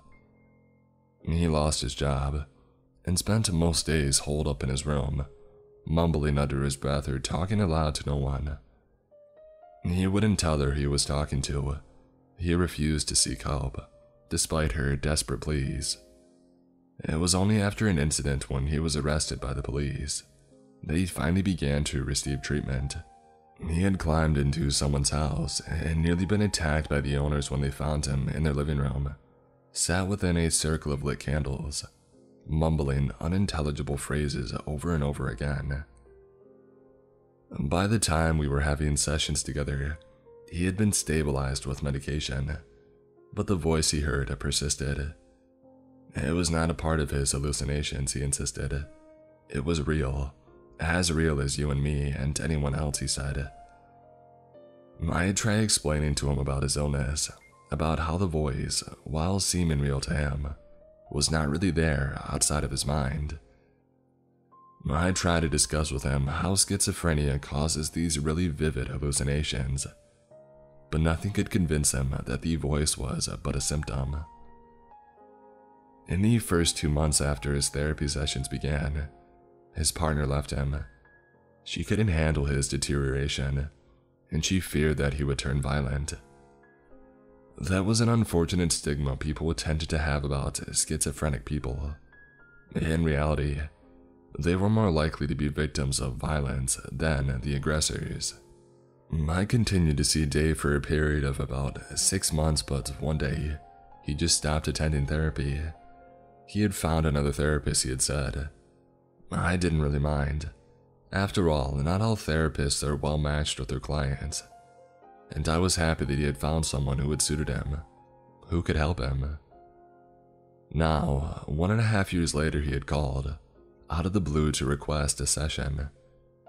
He had been cryptic on the phone, not sharing why he needed a session now. When he walked into the room, I was taken aback by the change in his demeanor, his whole presentation. He looked healthy, well groomed, and all cleaned up. He had a glow to his face, a light in his eyes that I hadn't seen before. You look great, I couldn't help but exclaim. Hi, Doc, he said chirpily, and plopped himself on the seat near me. Dave, again, you look great. I'm guessing things have been good. Yeah, I worked it out with my therapist. You were right. I shouldn't resist it. I should work with it. With it. The treatment, these suggestions, those given by my therapist. I smiled and leaned forward slightly. You were right. I had so much trouble. I was in such a deep, dark place, floundering. And so much of it was because I had been fighting against it. I dedicated so much time, so much effort, struggling against it. But you were right after all. The voice, he wasn't someone I should have fought. I let go one day of my need to control it, to stop it, to get rid of it. I let go and the voice, it became clearer, warmer, and then he took shape. He had taken form before, but it had been a hazy blur, something I tried to ignore, willing it to disperse in my sight. But after I embraced his presence, he took a solid form, and he finally appeared to me clear as day. He looks like a regular guy. He has kind eyes, I sat through his monologue silent, not wanting to interrupt. I have to admit, I was intrigued. Dave smiled and continued. He was there, you know, when you were talking to me. He hadn't shown himself properly then, but he was always there, hovering. He took in a lot of what you said, what I shared, and it turns out he's a really smart guy. He had learned really quickly. I think he did his own research too, because he started having his sessions with me, and he was just like you at first, and how he guided me through my feelings, my thoughts. The therapist that he had found had been his hallucination. It was unheard of, at least not in my years of experience. For a client to hallucinate a therapist, who then effectively guided the client to better mental health, it was incredible. I strained to keep my expressions in check. It worked more or less. I was able to sort out so many things in the year of therapy that I had with him, and he provided therapy free. No offense to you. He evolved too. He started using techniques that you hadn't done with me, so I think he really did do a lot of research, a lot of trial and error. So, when you said you found another therapist, you meant him, the voice that you've been hearing, and the guy you've started to see. I didn't want to minimize his views, his beliefs. I was careful not to call his hallucination what it was a hallucination. Not at this point. That would only push him away. He nodded. So, you've been seeing this man. Does he have a name? He's Jones. Yes, so you've been seeing Jones who's been giving you therapy, and you've felt much better ever since. Is that right? Yes, he's been incredible. I've done so much work on myself that he's always been there for me. Not just in sessions. He's there by my side most of the time. He makes sure I take care of myself. He catches my unhelpful actions and the negative thoughts that I have. While he can't really read my mind, not most of the time anyway, but he catches the looks on my face. When I'm down, angry, anxious, confused, whatever, he catches these moods, asks me about my thoughts, and just does therapy on the spot. It's incredible how effective therapy is when it's 24 7. I didn't know what to say. I was flummoxed, entranced, and entirely grateful to get to be a part of this situation. It was a psychologist, wet dream to get an interesting case like this. I love complex cases, bizarre symptoms, and this was ticking off all the boxes. This isn't to say that I don't care about my clients as people. I do have a lot of empathy and compassion for them. But I'm just often intrigued by the inner workings of other people and this was beyond fascinating. So, is he here right now, Jones? Yes, he is. He's checking you out, by the way. Oh, he says to clarify that. He's not checking you out in a weird way. He's just trying to get a sense of you, and whatever that thing is that's hanging around you. My smile stiffened a little, and I suddenly felt a twinge of nervousness. The thing that's hanging around me. Yes, that brings me to why I'm here today. Jones, he likes your work, what you do with clients. I think he's been hanging out around you sometimes, checking out your sessions with other clients, learning from you. It's part of his research and development, I guess. I squashed the slight discomfort that had begun to grow. He wanted me to come here today to tell you about some guy Something he's seen hanging about you. He tried to talk to you, but you don't hear him or see him. I didn't know what to say, so uh, I simply paraphrased his words. Jones has been around me and he's seen someone hanging out near me. Is that right? Yeah. He told me that there is this figure he's seen around you on a couple of visits that he's made. He's worried. I knew that it was all in Dave's head, but I couldn't help but feel as if he had trickled ice cold water down my spine. I shuddered involuntarily, and I tried to hide it, speaking quickly. He's seen someone here with me on some of the times that he's been here, and he's concerned. Yes. Wait. He's telling me to tell you. Okay. Apparently, he can sense their auras, others like him. He says that the figure near you emanates something sinister. It feels dark. Something's really wrong with it. I couldn't suppress the sensations that came over me at that point. I could feel the blood draining from my cheeks, my palms starting to sweat. An icy sensation wrapped itself around my neck, making it difficult to breathe. I tried to speak as calmly as I could. This is scaring me, Dave. I haven't seen you in a year and a half, and you've come today to tell me about your friend, your therapist, Jones, whom only you can see and hear. And you've also come to tell me about a figure, an evil being lurking near me, that Jones says he saw. I'm so sorry, this must be really unsettling for you, really scary and I know how it sounds. But Jones likes you. He wants to keep you safe. To warn you. Oh god, okay. He says it's here now. I push back my emotions, mentally forcing them into a little box in my mind.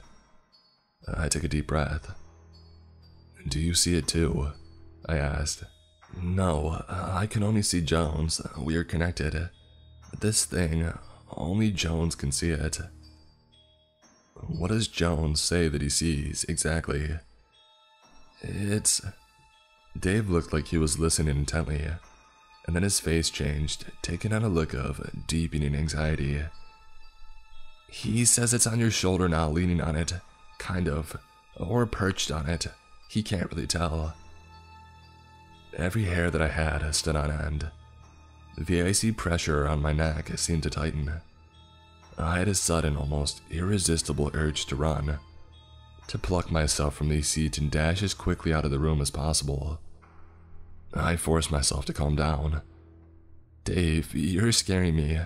And I know Jones, he's real to you, but he's not real to me. And what you're saying to me, though I know you mean well, it's making me really uncomfortable. Yes, uh, that was it. It was all his hallucination. I knew it. Research knew it. Science was on my side. Dave was having an incredibly elaborate hallucination, a delusion, and intricate as the story was, that was all that was. A story. Something he had built up in his mind. His amazing, complicated mind. But still, it was nothing more than his imagination. I held on to that train of thought like a shield and felt somewhat comforted. The surety of science made me feel safe again. A touch of sadness split into the anxiety that was painted on Dave's face. Then he seemed to be listening, looking somewhere to my right. Jones said that last Friday you were wearing a blue sweater and you were rushing into the clinic, and you just made it on time for your first appointment. A crack appeared on my mental shield.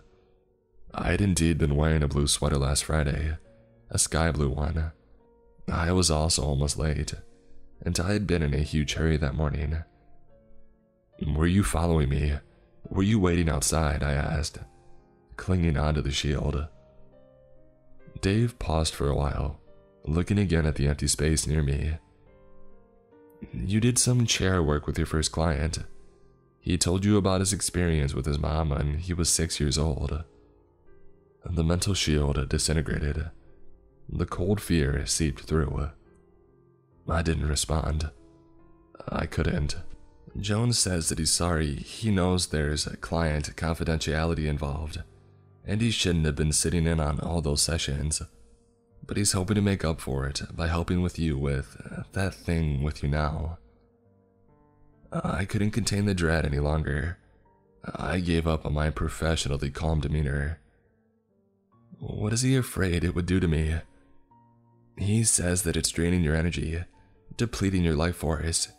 He's not sure how it works, but just by being in your proximity, it's feeding on you. Jones says that some of these creatures may even have the ability to plant thoughts in your head, influence the things that you do. He's heard of one which made its victims kill someone before killing himself. I stared blankly at Dave. Jones said that he could try to reach out to it and get it to leave, but he's not sure that it could work.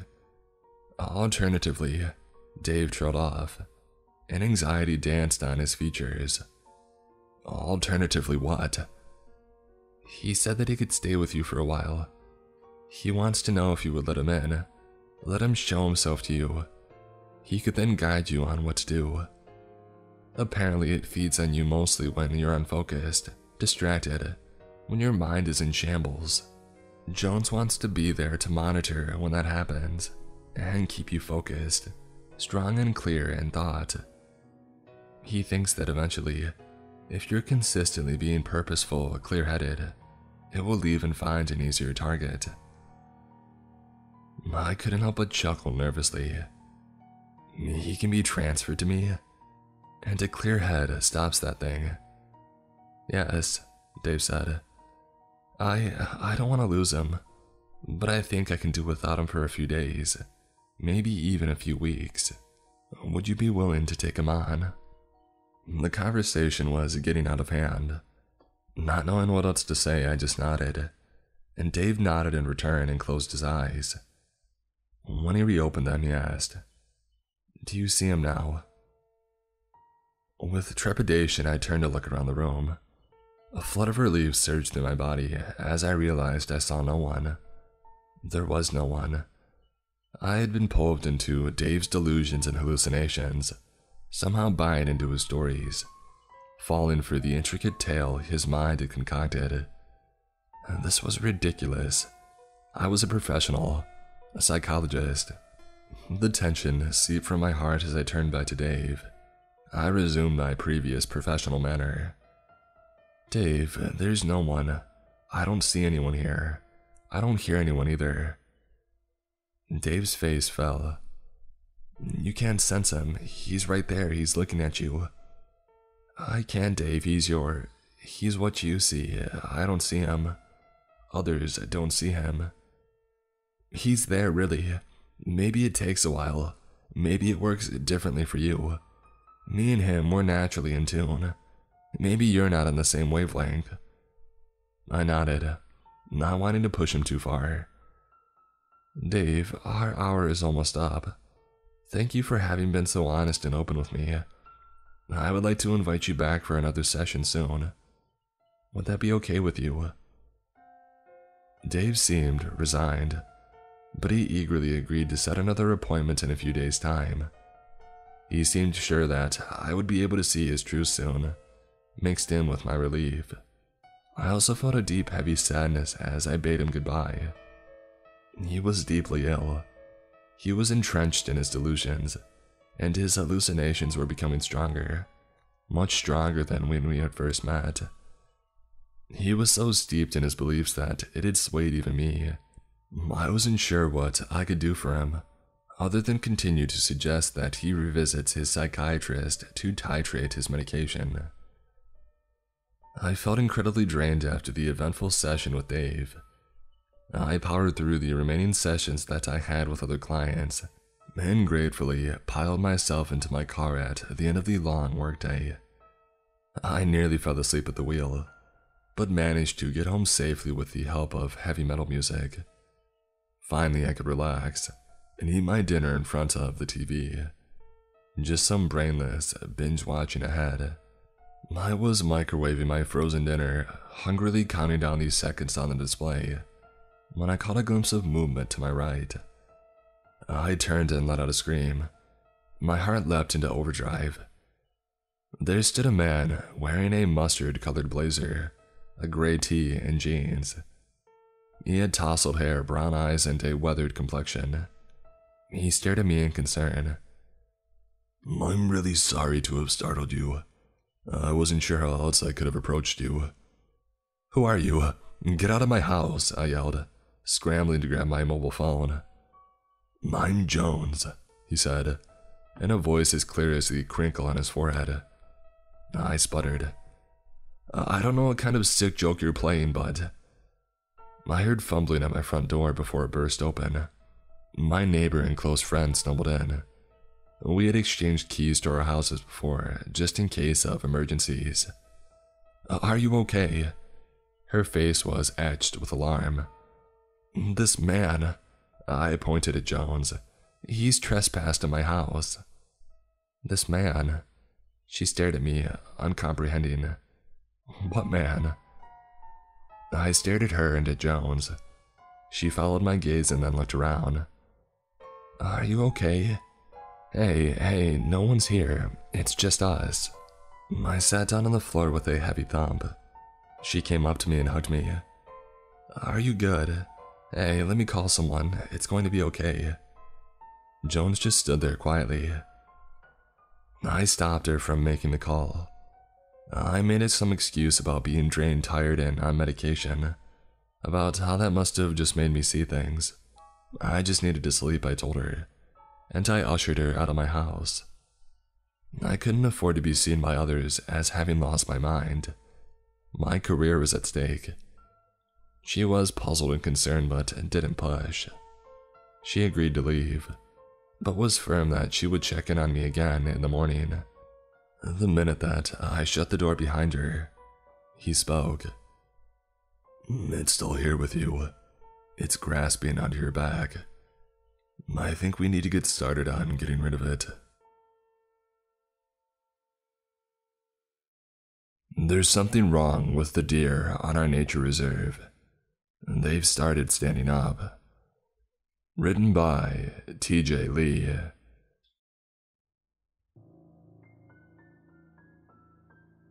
I've lived in this town all my life. I know all the weird traditions that come with living in a place as remote as mine, but nothing explains what happens at our deer park. I used to come out here most evenings during the pandemic, park up by the base of the hill overlooking the sanctuary, and just immerse myself in nature.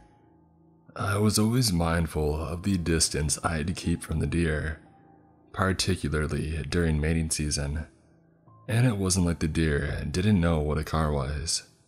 These were in their own reserve, sure, but the trail cut right through their vast fields, and they had grown accustomed to seeing cars all manner of times in the day and evening, which is what makes the situation all the more unsettling. Starting last week, a sign was put up on the entrance gate to the park. Impossible to miss as the car slowed and the tires rolled over the metal grades. With it being the late hours and very few cars on the road, I decided to stop and read it in full. A polite notice to our valued visitors entering the Oboro Nature Reserve. Our deer are exhibiting unusual behaviors, and we are politely requesting you observe the following guidelines in place as to best protect yourself and the well being of our deer. 1. While the park is open 24 hours a day, we are recommending visitors do not stop their cars during observable grazing periods and on midsummer nights. You are welcome to drive through and observe from a distance, but please do not slow down or stop. 2. Should you be slowed or stopped at any other time and the deer be curious by your vehicle, act calmly and do not speed up. Let them inspect you and judge you as a safe passerby. If they begin snorting, that is your cue to leave. 3. There have been reports of deer standing on their hind legs and remaining idle in the fields. These rumors are a fallacy. Please do not pay any attention to them. 4. There is a black stag that holds dominion over the western herd. His antlers are sharp and his stride is impressive, but do not attempt to approach him. Please pay him the respect you would normally, and do not stare at any of the females in his harem. He will charge you. Bucks are not friendly. 5. Deer remember faces. They can recognize you from a distance and will verify your smell as you get closer, listening intently the entire time. There are many of them and only one of you. You would do well to mind that. 6. Lastly, no matter what salacious rumors have been propagating amongst the community, the deer are not congregating in the dead of night. Deer are social animals that sleep and graze together in a herd. This is normal. The deer are acting normally. Drive safely, keep your doors locked, and have a lovely drive in the Obero Nature Reserve. Strange, right? The notice wasn't your usual steel sign with carefully embossed wording. Rather, it had been hastily marked up and nailed to the wall adjacent to the welcome sign, as if in a hurry. I had not heard any sorts of rumors around town, and nobody had complained about the deer park. We're a population of maybe 2,000, so it's not hard for word to get about. But still, I had my routine and intended to stick to it. Some of the info was valuable for newcomers. There was indeed a large black buck who paraded the western herd. His name was Jojo, and I fully believed he would attack anyone who outstayed their welcome or got too close. A beautiful specimen of muscle and authority. He ensured his harem never strayed too far, and seemed to be borderline obsessive about making sure they never went across to the eastern side, where the large swaths of trees sat. In fact, I had observed him on a couple of occasions actively nudging or ramming younger males away from the split in the road and back to safety. On the rare occasion that a member of the herd crossed the line, he would refuse to acknowledge them and actively keep them away from entering, as if they were banished. As I drove through the archway, I realized I had not seen many deer in the eastern section of the park. Looking out my window and staring at the makeshift forest to my right, and a burning question coming to the forefront of my mind that didn't leave as I reached the hill overlooking both sides of the hill. Where are the rest of the deer? It was unnerving to sit there and try to enact my ritual of riding under the clear night when there was a strict absence of the herd where they should be. I tried to focus, but something was pulling my eyes back to looking at that same spot time and time again. Eventually, I decided that I needed to get some fresh air and take a better look, satiate my curiosity, and then, with my mind at ease, I could get back to finishing my blog. The air is humid when I step outside, no breeze and these stars are out on full display. Thank goodness for no light pollution in the countryside. I leave the engine running and I walk to the barrier that my car is parked in front of, leaning over and taking a pair of binoculars that I bring for slower days when I want to see the deer in better detail. As I direct my vision to the eastern herd, I see something darting in the tree line. It's quick, hairy, and seemed to move the second my binoculars motioned toward it. Even a deer shouldn't be that spooked, especially from this distance. My joints seize up and I dang near drop the binoculars when I hear a familiar snorting from behind me. I turn and see Jojo standing 15 feet from me, just by the rear of my car, his eyes gleaming in my rear lights. His head is low and his antlers are thick, sharp, and aimed at me. In that moment, I don't know if he's going to charge and whether I should be fighting for my dang life. But instead, I do as I was instructed and I stay still, not making any sudden movements as he snorts again, closing the gap between us slowly.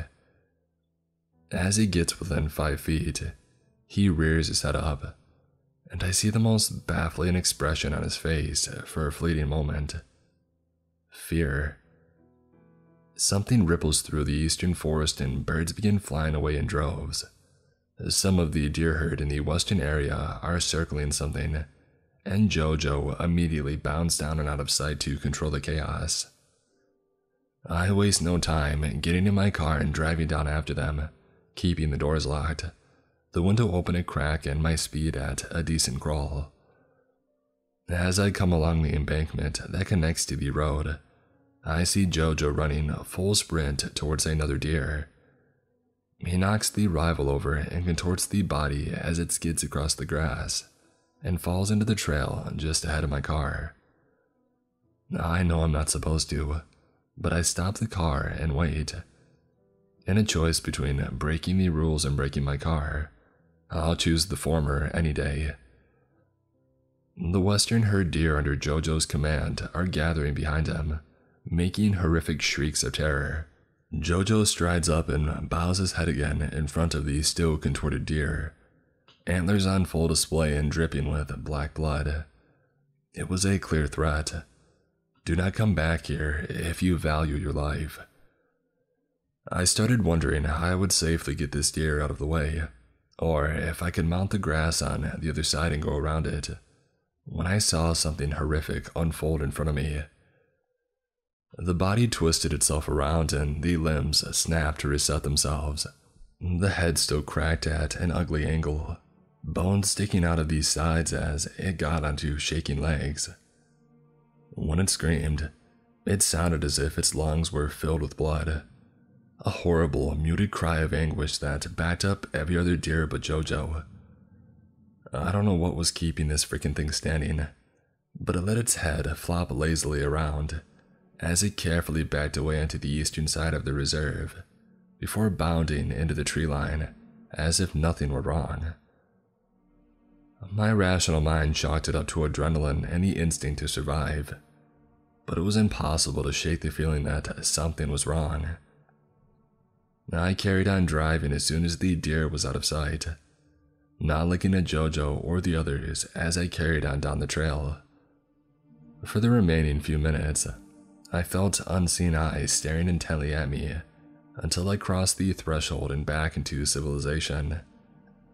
I had never been more grateful to see other humans, or my bed. Something about the whole incident just took it out of me. As I slept that night, I dreamed I was a deer alongside Jojo, frolicking in the herd and grazing peacefully. But as I cast my eyes upwards to the sky, a bitter chill in the wind, I saw the moon bathed in an almost purple plume.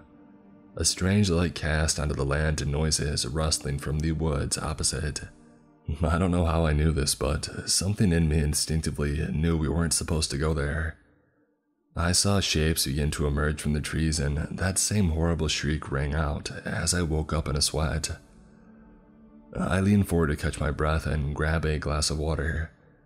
As I changed positions to reach for my nightstand, I swore that I heard the sound of something running up the trail to my house. I was probably still half asleep, but that didn't make it any more unnerving. I decided it would be best to drive out the next night and confront my concerns head on. If I'm not going to sleep soundly, then I should use my time wisely and document what I'm seeing. Maybe pass it on to the rangers in the morning, right? When I drove back out there last night, the atmosphere was vastly different. A mist was enshrouding the trail, and the majority of the deer on the western side huddled together, shaking and staring intently at the other side of the nature reserve. I couldn't see Jojo anywhere. Strange, I thought. Alpha males patrol their herds dutifully. Why wasn't he there? I parked up at my usual spot and making sure that he wasn't around. I pulled out my binoculars again and stared at the eastern area. The clouds beginning to part as the moon shone through. There was movement all along the tree line as shapes began emerging one by one. I think it took my mind a moment to process what I was seeing. I had finally seen the deer on the eastern side, but they were wrong. Very, very wrong. Standing up on their hind legs and taking confident, awkward steps, they marched out of the trees with their heads craned to the sky, all of them emitting that horrible sound like their heads were being held underwater as they screamed. It reverberated in my ears and made my skin break out in goosebumps. There were dozens of them, maybe a couple of hundred. Some were dragging a structure out with them, others hauling a writhing shape that I couldn't quite see. They congregated in a small huddle, the center of which was obscured from my vision. I looked over to Jojo's herd and saw the fear in their eyes, so many of them shaking and their teeth bared. A primal fear we humans have largely lost in the safety of being the dominant species. But this night showed me we're not as powerful as we think we are. As the huddle broke away and began walking again towards the edge of their field, I saw what they had been huddled around. Jojo. He was still alive, but barely moving and breathing heavily, his eyes glazed over. When he began to come to, he started shrieking like a fawn. It was unnerving. They dragged him to the structure, a primitive set of steps with a hollowed out hole in its center, coated in a thick substance on its sides, just large enough for Jojo to be thrown into. I watched these things. These not deer used their front hooves to hoist him up and into the hole, his screaming incessant the entire time. They stood around it, their necks cracked as they stared at the moon and shrieked. I looked up with them, wondering if what they sought was up there in the skies, a kind of primitive god for these creatures. I should have known better, of course. Whatever god these not deer prayed to, it didn't reside up above. No, It lurked deep below. A low groan called out in response. It possessed the same blood filled lungs these monstrosities had, and Jojo's deer huddled closer together at its roar. Jojo had stopped moving, his crying completely gone as the not deer too fell silent and formed a circle around their altar, snorting in unison. It grew to a fever pitch before something began dragging Jojo from beneath. Ripping at his limbs and pulling into a horrific squelch indicated the top had separated from the bottom. The hole spurted out red in chunks of deer as the not deer celebrated, danced in the rain, and feasted on the pieces. One final roar rang out from the unseen creature. It shook the ground, and I felt my balance waver for just a moment, steadying myself on the car.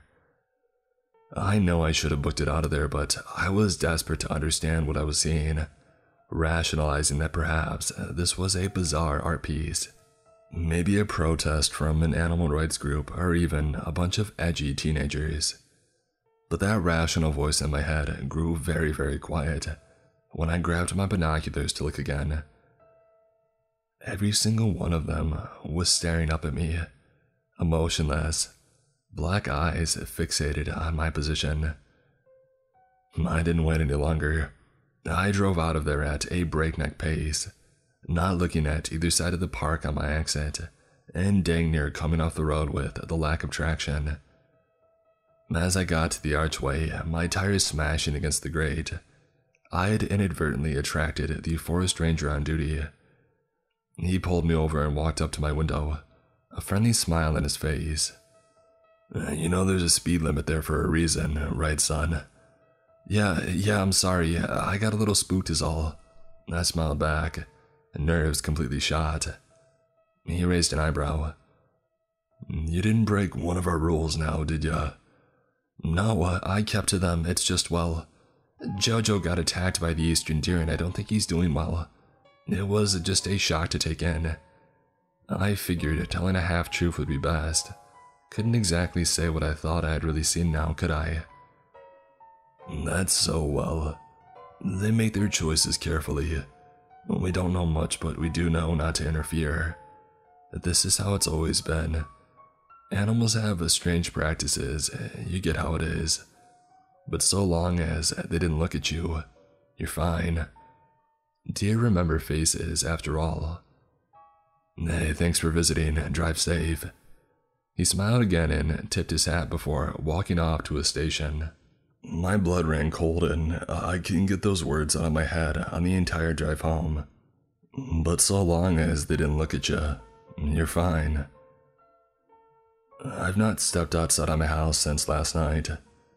I live in a remote part of the village, and while I enjoy the privacy, it's been a hotbed for strange noises and unsettling emotions. Everywhere I go in my home, I feel like I'm being watched by those same vacant eyes. What happens now? What happens to those they look at? I can't get their eyes out of my head, and I can't sleep worth anything either. This isn't going to end until I figure out what they want. I wish I had more for you.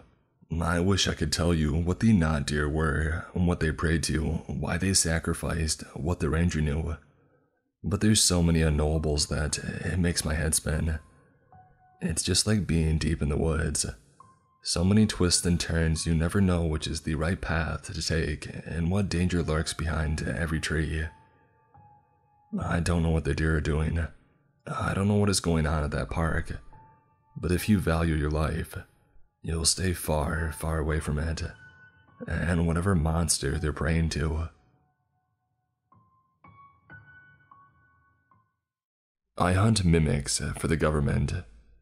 Written by Christian Wallace. What's the worst one you've seen? Jacob asked, lying next to me with binoculars in hand. The young man had spent most of the trip moaning about the drizzly weather of mid Wales, so it was good to hear him sound a little interested in the work. It's hard to say, I replied. You know those big beach umbrellas? Yeah. I saw one of those get blown into a kid's birthday party once. The old man goes up to pull the cord to stop it from knocking a few tables over, and next thing he knows, it's wrapped around him and he can't get it off. So, his wife goes to help, and then a brother and a cousin. I shrugged. Mimics don't normally get exposed to so many people. It would be like dropping a lion in an industrial meatpacking factory. What made it so bad? He asked. And did it just eat a lot of people?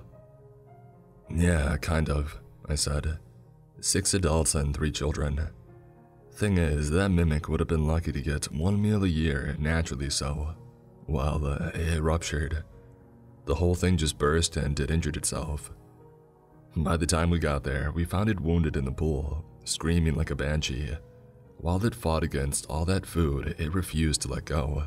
The kids were already halfway to soup, but some of the adults were still alive and screaming.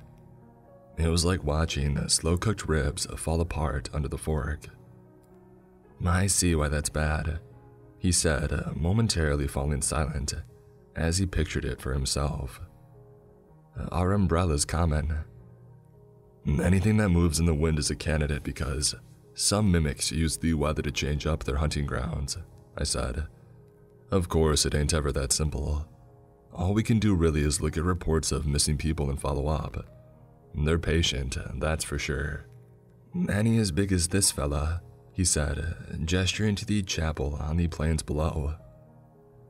I've heard rumors, I replied, from some of the old guard. Back when the world was bigger and there were less people to fill it, I guess it was easier for these things to hide back then. We have a few reports from old sailors about things that may have been mimics. Shipwrecks that glittered with gold and the promise of loot. No one can say for sure. The information age has hit these things hard, and of course, we've hit them harder. But no, personally, I haven't seen anything like this before.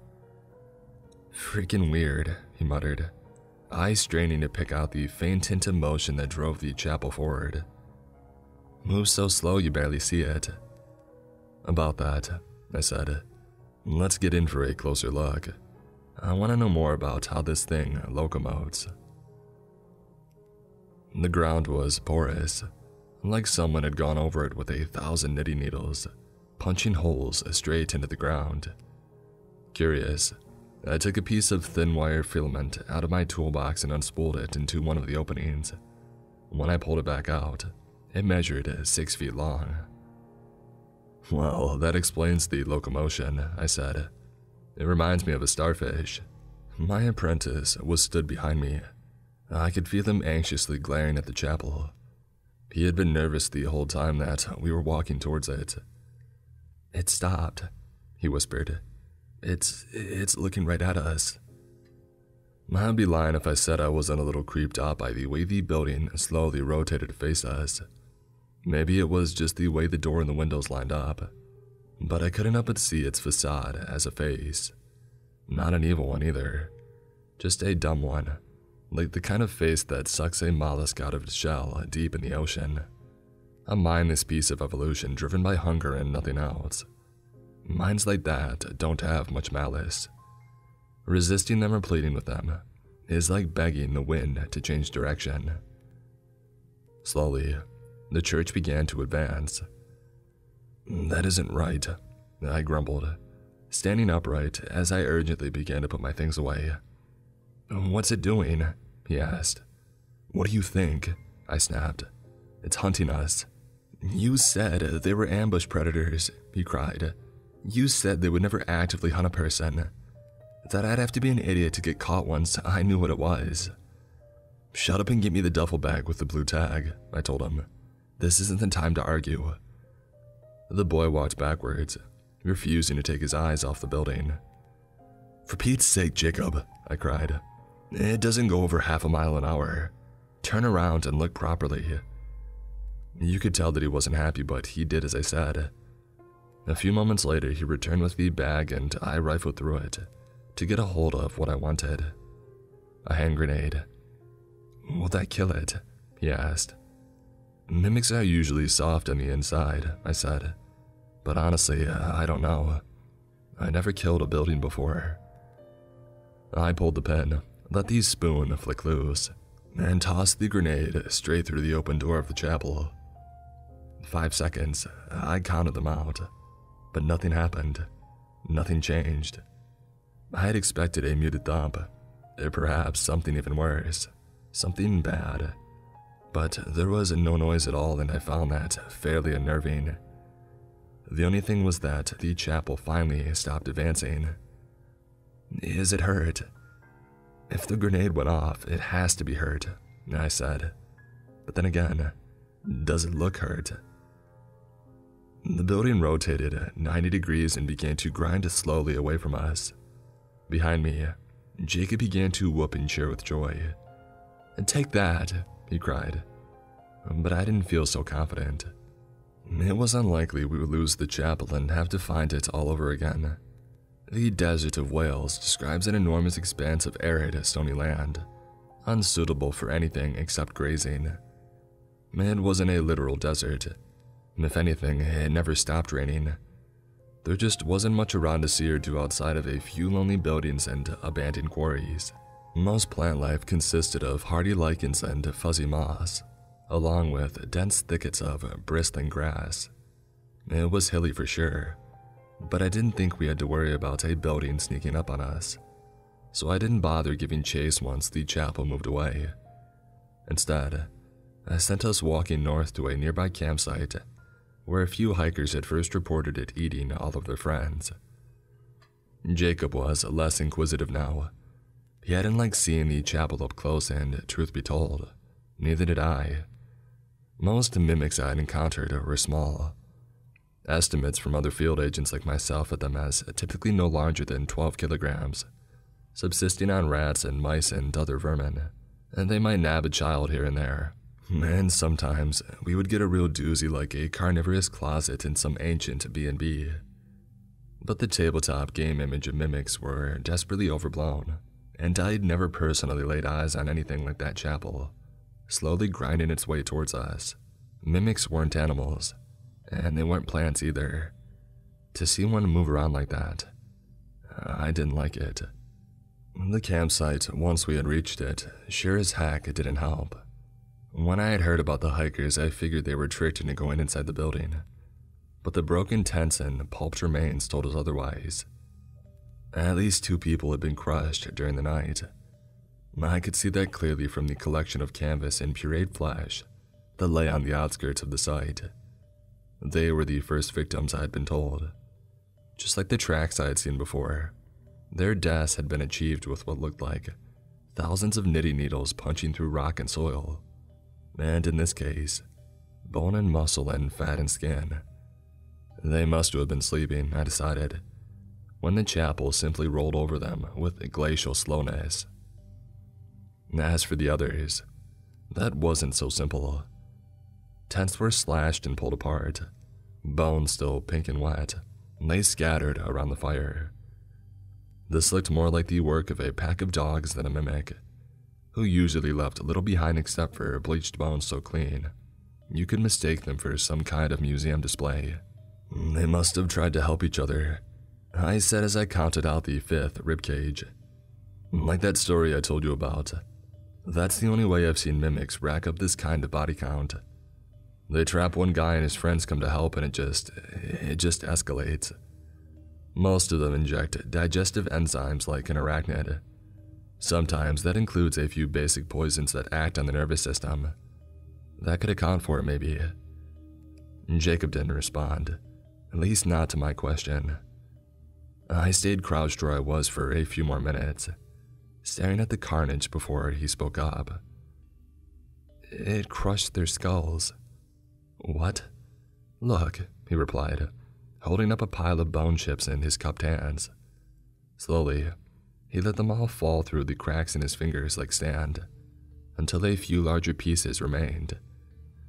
He took one and passed it over, and I instantly recognized the bridge of a nose. They're all here. It crushed them, practically ground them into powder, all in one place as well. It's almost ritualistic. No, it's not, I replied. Mimics don't do that. They don't think, and they sure as heck don't do rituals. So, how do they know what to imitate? Come on, I snapped. Let's get back to the car. You didn't answer my question, he said, and I could tell that he had been working up the courage to challenge me on this for the last hour of the hike. What question? How do mimics know what to imitate? he asked. Well, they don't reproduce if that's what you mean. What do you mean they don't reproduce? They don't screw, they don't lay eggs. They don't even grow or gain weight after feeding. They're not animals, so they don't reproduce. And on top of that, we have records of things that weren't mimics becoming mimics, I replied. A car, for one. There was a closet in the London Natural History Museum that was most definitely not a mimic on the 9th of July 1991, but which still proceeded to eat three janitors by the 13th of August that same year. There was a brief moment of silence before Jacob's voice suddenly rang out across the windswept plain. What? he cried. Are you telling me these things just just appear? Mm, don't know, I shrugged. Not my job to know. That's a different department. But but yeah. Things every day things can apparently just turn into mimics. So like what? My backpack could become a mimic at any time. Maybe, I replied. What you should be worried about is so can your dog and so can you. It's rare, but it can happen. Sometimes they don't even know. It's just boom and it just happens. You wake up and your wife isn't there and you don't know why. But you suddenly have a funny looking scar on your chest and your tummy won't stop rumbling. I think we have three in containment at the moment. One of them swears that someone did it to him. Is he lying, deluded? Who knows? This time Jacob didn't respond. He walked the rest of the trail in silence while he wrestled with the implication of what he had just learned. There is, at any time, probably less than 50 mimics in existence. But once you realize that there's nothing stopping one from popping up in your cereal box, or taking over your car or your bed, yeah, it can be a little tough to sleep at night. Maybe I shouldn't have dropped it on him like that, but my own nerves were playing up something awful on that stony trail and I just wanted space and quiet. Already the sun was starting to dip and the sky was full of graying clouds. We had enjoyed some fairly decent weather so far, but now it looked like our luck was running out and for some reason. I didn't much fancy seeing that dang church coming at us, while heading behind the night and a slate of gray drizzle. Instead, Uh, I focused on settling down for the night in that kitschy little bed and breakfast that we had scouted on our way up. Sure, we had a long drive ahead of us, but I was thankful that the walking part of the day was over. Oh, how wrong I was. At first, I thought we had reached the wrong patch of gravel because, as I crested the hill, I quickly noticed that there was no sign of my car's roof. But no, I realized the trail was recognizable. That tree in the distance was the same one I had made a note of when we had parked up. Had the car been stolen? I wondered incredulously. Surely not in a place so remote. As my legs had carried me further and the rest of the lot came into view, I soon realized the answer was somehow even stranger. My car had been crushed flat, Pulverized might be the better word. It looked more like a stand in the ground than a four ton pickup truck. A better account would be to say that it had been picked apart by a thousand tiny ice picks, until its footprint was nearly as big as an 18 wheeler. It was so bizarre that Jacob looked down at it for a few moments before asking, Where's the truck? That clever thing, I muttered, not quite sure of how to answer. Not that I needed to. Jacob put two and two together from just looking at it for long enough. No, no, no, he said. You told me they aren't smart. Ambush predators, he cried. Freaking ambush predators. That's what you told me. Get it together, I snapped. Do you think every job was a walk in the park? I hoped the stern treatment would whip some sense into the boy, but it didn't work. Instead of calming down, Jacob began to cry and swear and shout all sorts of things at me and the agency before falling over himself and landing on his butt, tears brimming in his red rimmed eyes. For a second there, I wanted to slap him, but that was when I realized he had stopped all noise and taken to staring right past me. I turned and saw the chapel about 50 feet behind us, and my skin crawled with disgust to see it so close. Its motion was so silent as to be a whisper, and my brain rebelled at the idea that this thing was looming larger and larger. But there was no denying the sight, whether it made any sense or not. I grabbed Jacob by the collar and hauled him to his feet, even as he sobbed. Thankfully, he reflexively latched onto the bags I stuffed into his arms while I pulled out a map and took a look for the nearest sign of a civilization. It was odd, but even with that chapel going no faster than a yard every few 30 seconds, I could feel it like an itching on the back of my neck. Something about a ticking clock can make even the simplest of tasks difficult, and I had to struggle to keep my concentration as I figured out our position and drew a straight line to a nearby farmhouse. Come on, I said, and tugging at Jacob's arm so he would turn from the chapel and start to follow. It's Wales, and not Siberia. We can make it out of here, walk the whole way to the nearest town if we have to. Jacob had finally calmed, cast a glance over his shoulder and shuddered. I already knew what he was thinking, even if he never said it. No one wanted to walk that far with that thing coming up on our tail. Where does it go? The sun was down and we had no choice but to set up camp in an open field. Part of me wanted to hide, to march to the nearest bit of woodland off in the distance, and find a hole in the ground to stay out of sight. But I knew dang well that was a bad idea. Our best hope was to keep an eye on this thing, and at its current rate of travel, and the two mile gap that we had put between us and it, I figured we had about four hours before we needed to get going again. And I was going to make sure that we could keep our eyes on it for every second of that time, or at least one of us would. We both needed to sleep, Jacob especially. So for now, having settled down by a small fire with very little cover, I told the boy to catch some shut eye while I watched. Where does it go? He repeated, and I tore my eyes away from the horizon to look back at him. They don't reproduce, they don't grow, but you can't destroy matter, right? So, all the stuff they eat, where does it go? Like that umbrella you told me about. What was it going to do with all those people? I don't know, I shrugged.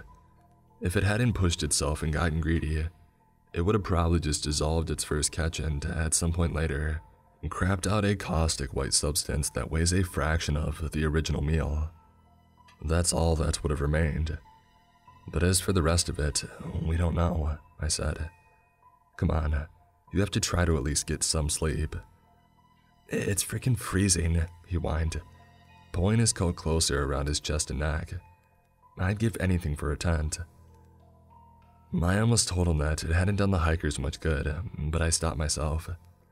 It would have only freaked him out, and besides, I watched him take my advice and close his eyes. When I looked back, the chapel had disappeared. For a second, it made the breath catch in my throat, but the shock didn't stick around for long. I had known for a while now that the chapel wasn't a simple thing. It had cut ahead of us all the way to the car and it had trashed it. That was the kind of tricky behavior you wouldn't even expect from an apex predator, like a bear or a mountain lion. I didn't much like it, but I started to wonder if this thing was going to get the better of us. Knowing what I did about mimics and how they fed, the thought of this thing catching us didn't make me feel like relaxing one little bit. I found myself hoping Jacob made it through all this. He had asked a pretty astute question back there. Where does it go? I hadn't lied either, we didn't know. But that didn't mean we couldn't guess and oh boy, the guys at the agency had guessed galore. The longest running theory was that we just didn't see mimics reproduce, but like a bad excuse, that was starting to fray the longer that we held on to it. 90 years in counting and not one example of a mimic being born in lab conditions. Of us even finding the slightest evidence of that behavior out in the wild. A nest, some eggs, anything. And why the heck didn't they weigh more after feeding? The more we documented them and the more we learned, the more elaborate these scientists had to become in explaining it all. The second theory, the newest and what was soon becoming the most popular, was some kind of infection or fungus or something. We've dissected enough of these things to learn a thing or two. Heck, the boss back at HQ had a vivisected mimic pencil sharpener preserved in amber as a desk ornament. It's pretty neat, actually. And what these dissections show is that mimics keep a lot of the original object. They splice nervous systems and strange, discombobulated muscular fibers onto hard, inanimate structures, and somehow it just works. As to why they seem to pick the right objects at the right time, maybe they don't. Maybe this stuff's everywhere and it just needs the right conditions to flourish. Maybe your computer mouse is trying to turn into a deadly predator, but it just can't because every time you use it, it agitates all those little microbial construction workers and it all comes falling apart. But the smarter amongst you will realize this still doesn't answer Jacob's question. It might be the how, but it doesn't really do the why. I mean, after all, where does it go? They don't have stomachs, well, not really. They're like arachnids. They suck this stuff up and it just goes. Somewhere, we think. There is one more theory. People don't talk about it, not even in the agency. But I think push come to shove. Just about any field agent worth his salt would admit to it being the most likely explanation. The scientist who came up with it disowned his own theory just a few days after first posting it to the message boards, but I always suspected it wasn't because he thought it was naff. He just didn't like it being tied to his name. Can't say I blame him either. Anyway, he posited that mimics aren't separate organisms at all, that they're a projection of something. The reason why they pick specific objects is because there is an intelligence behind them, behind all of them, as a matter of fact. They aren't independent organisms, they're more like proboscises attached to a single source. That's why we can't find where the digested food goes, he says. It's getting sucked out of the physical world in front of us and redirected somewhere else. The thought of every mimic ever caught being nothing more than a tentacle belonging to some unseen force. It fit a lot of facts, but it sure as crap didn't make that scientist any friends.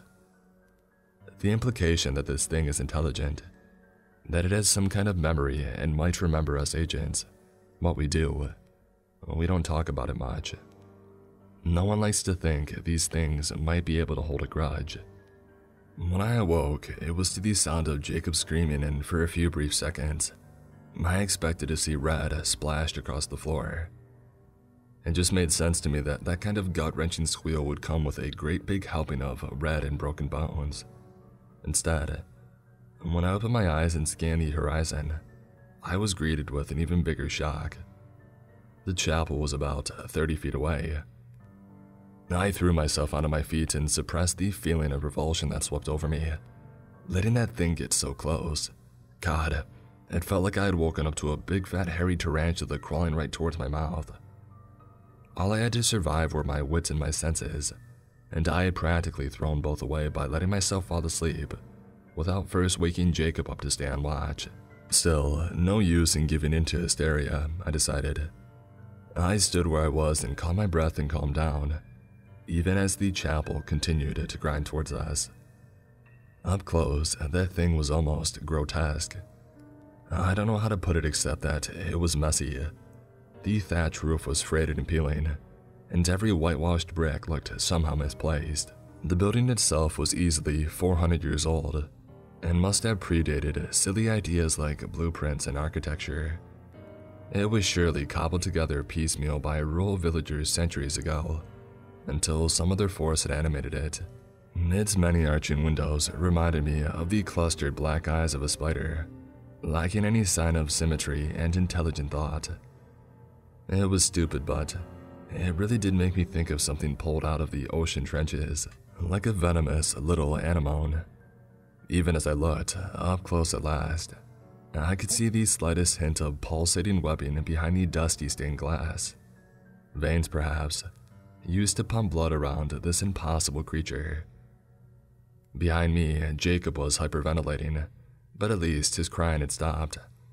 Without me telling him, he started to reach down and grab his bags off the floor, which was good. As much of a disaster as this trip was turning out to be, at least he had bounced back after his first freakout. Throw me that bag, I said, pointing to the duffel that he held in his hand. He did, and I reached out to take out yet another grenade. This time, the chapel did not stop. I considered throwing the explosive anyway, trying to hurl it straight through one of the windows now that the door was shut. But our supplies weren't infinite, and it's not like it made a difference last time. I don't understand, Jacob cried. It stopped last time. It was scared. What's changed? I don't think it was ever scared, I said, snatching my things up from the floor as the chapel came closer with every second. We might be able to get ahead of it now, but it's a long hike to the nearest farmhouse. Come on, I added sternly. If we're quick, we'll get there before nightfall. Jacob, I said, nudging him with my elbow and gesturing to the nearby cliff. The stepped rocks made for a surface that was close to vertical, but which could easily be clambered over one by one by a person without any gear. What do you think? He glanced over at the chapel that trailed relentlessly behind us. It did not stop for three hours, and neither had we. And while we could not be sure of exact measurements, I was certain that slowly, maybe at no more than an inch per hour, the distance was closing. I feel like I need a break, even if it's just for a few minutes to clear my head. If it forces that thing to reroute and buy us time to catch our breath, it's worth it, he replied. I agree, I said, stepping off the trail and heading towards the cliff. Both Jacob and the chapel followed. Many other time in my life, I would have looked at a series of five foot climbs as nothing to worry about. Scaling fences and gates is a part of the job, and while I'm hardly an athlete, I'm not out of shape either. But something about stopping to gauge the distance, and then awkwardly pushing myself up one elbow at a time, slowing down felt risky and coming to a complete stop to climb a vertical distance, it felt outright crazy. I just had to hope that it would all pay off in the end. Jacob caught up with me quick enough on the first little step. Without taking even so much as a breath, we both grabbed a hold of the next ledge and began to haul ourselves up. By that point, I was sweating and very clearly out of breath, and Jacob wasn't faring much better but we had already climbed a good distance and couldn't resist the urge to look back and see how the chapel would handle our diversion. I wish I hadn't. The chapel didn't even slow. It scaled the first step as easily as it moved across open terrain. How it did it, I can't be sure. It lumbered the front of itself up at a 45 degree angle, and then slowly went all the way vertical. Unlike us, it did not stop at each ledge. The flat surface was too small to factor in for something that size, and unlike us, it didn't seem to find fighting gravity remotely difficult. For a moment there, I caught sight of its underneath and glimpsed a crawling mass of spidery legs that writhed over each other in an impossible swirl of glistening black. It repulsed me, like watching a starfish's thousand little suckers grope and fumble for purchase on a glass tank. Unlike Jacob, who had responded instantly to the chapel, I faltered as the thought of falling into that hive of clicking shapes paralyzed me with disgust. It didn't last long, but every foot of distance mattered. Our plan had backfired badly. The chapel had no issue with vertical surfaces, whereas we did. We had stumbled into one of the few scenarios where, if we weren't quick, that thing would quickly run us down. Get your butt going, Jacob cried, and I snapped out of my mortal panic and rushed over to the next ledge. Without giving it too much thought, I threw my backpack away along with any other supplies that I carried, and I dragged myself up and over the stony outcrop. I was barely on my feet when I heard the sound of my belongings being crushed. I only had one last ledge to go, and already Jacob was at the top of it all, reaching down to help. Fighting the urge to look back one more time, I ran and jumped and went to grab his forearm. My hand clasped firmly around his wrist, and together we began to haul me up while my feet scrabbled for purchase on the stone. Along the way, my toes slid into a crevice, and while it helped me push a little further, it was uneven and my foot slid too far down into the wedge. To my horror, when I tried to tug it free, it wouldn't come. I'm stuck, I cried, surprised to hear myself sound so afraid. Jacob knew what to do. Both hands wrapped around my arm. He pulled with all his strength and I gave it everything I had. We both understood the situation implicitly. It was better to tear my foot off than let it slow us down by even a single second. It came free in the end, but not without injury, as I rolled over the final edge and tried to crawl back up out of my feet. I saw that I had lost a shoe and most of the skin along my ankle. Ah, crap, I hissed, tentatively reaching out to touch it. It needed dressing, it needed wrapping, it needed disinfecting. Do we have ice? I wondered, before suddenly realizing that I was in shock and thinking stupid things. Thankfully, Jacob put one arm under my shoulder and was already hobbling me along before the chapel crawled over the final outcrop, righting itself with a thunderous crash. After a few steps, I found that my foot could bear a little weight, and so uh, I began to hop away on my own. I had to ignore the terrified expression on Jacob's face when he looked back on me in the chapel from up ahead. He didn't even have to say it. I knew it as well as he did. The chapel had closed over half the distance. I'm getting too old for this, I said as I limped along, breath ragged as I fought to keep pace with Jacob. You're not even 40, he grumbled. Yeah, but every mess I've made so far has been made by me, I hissed. The cliff, falling asleep on watch. You said the others weren't like this. They're not, I said. Not even close. If. if you get out of here alive. I stopped myself from saying it, but the damage was done. The silence between us hung heavy for long enough to let me know Jacob had absorbed that one little word and all its hidden meanings. Look, I said, you don't need to worry about the job when you get out. There ain't nothing out there that'll bother you after this. You'll still need supervision, but you can rest assured that you're personally up for the task. So you'll give me a good reference. Heck yes, I said. Best of the best. I wanted to broach the topic of how Jacob would contact the agency on his own, what passcodes to use, what names to ask for. But I could see that he was still stressed, so uh, I didn't push it. As it was, Jacob kept drifting ahead of me. Sure, I was putting in a good effort, but at best, I was only delaying the inevitable. Sooner or later, I would be caught, and it would be best if the guy knew how to make arrangements all on his own. Do you still have that grenade? Jacob asked. Surprisingly, I did, I haven't returned it to my pocket and not my bag. Probably not the smartest thing to do, I figured, but then again, I might just prefer having a nasty accident instead of falling under that monster's tread. Yeah, I said. But it ain't gonna work, you know that, don't you? Whatever's in those doors, we can't touch it. I'm not thinking about the doors. Jacob gestured to another rocky hill in the distance. Another cliff, he said. This one, we would have to go down.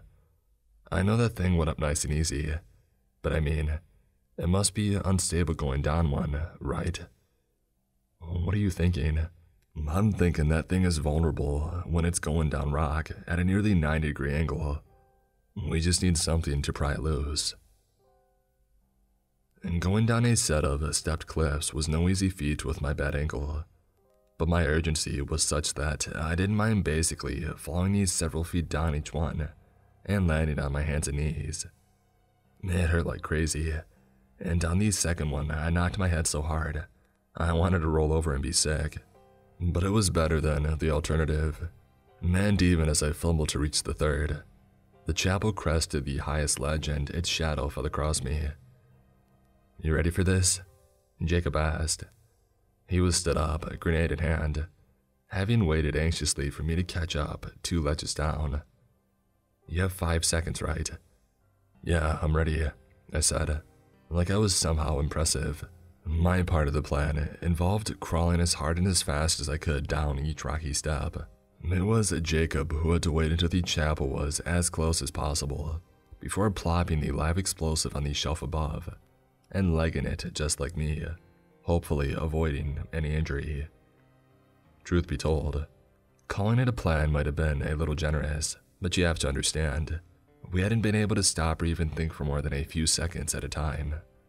The chapel came onwards, and as soon as I heard the flick of the pen, I began to move, lowering myself feet first while I anxiously counted to five in my head.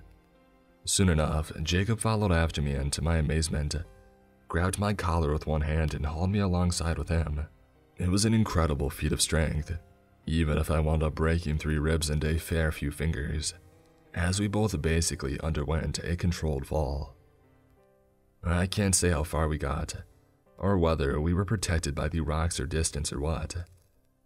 But after what felt like a painful eternity, there was a muffled thump, and we both looked up to see the chapel leaning forward at a strange angle.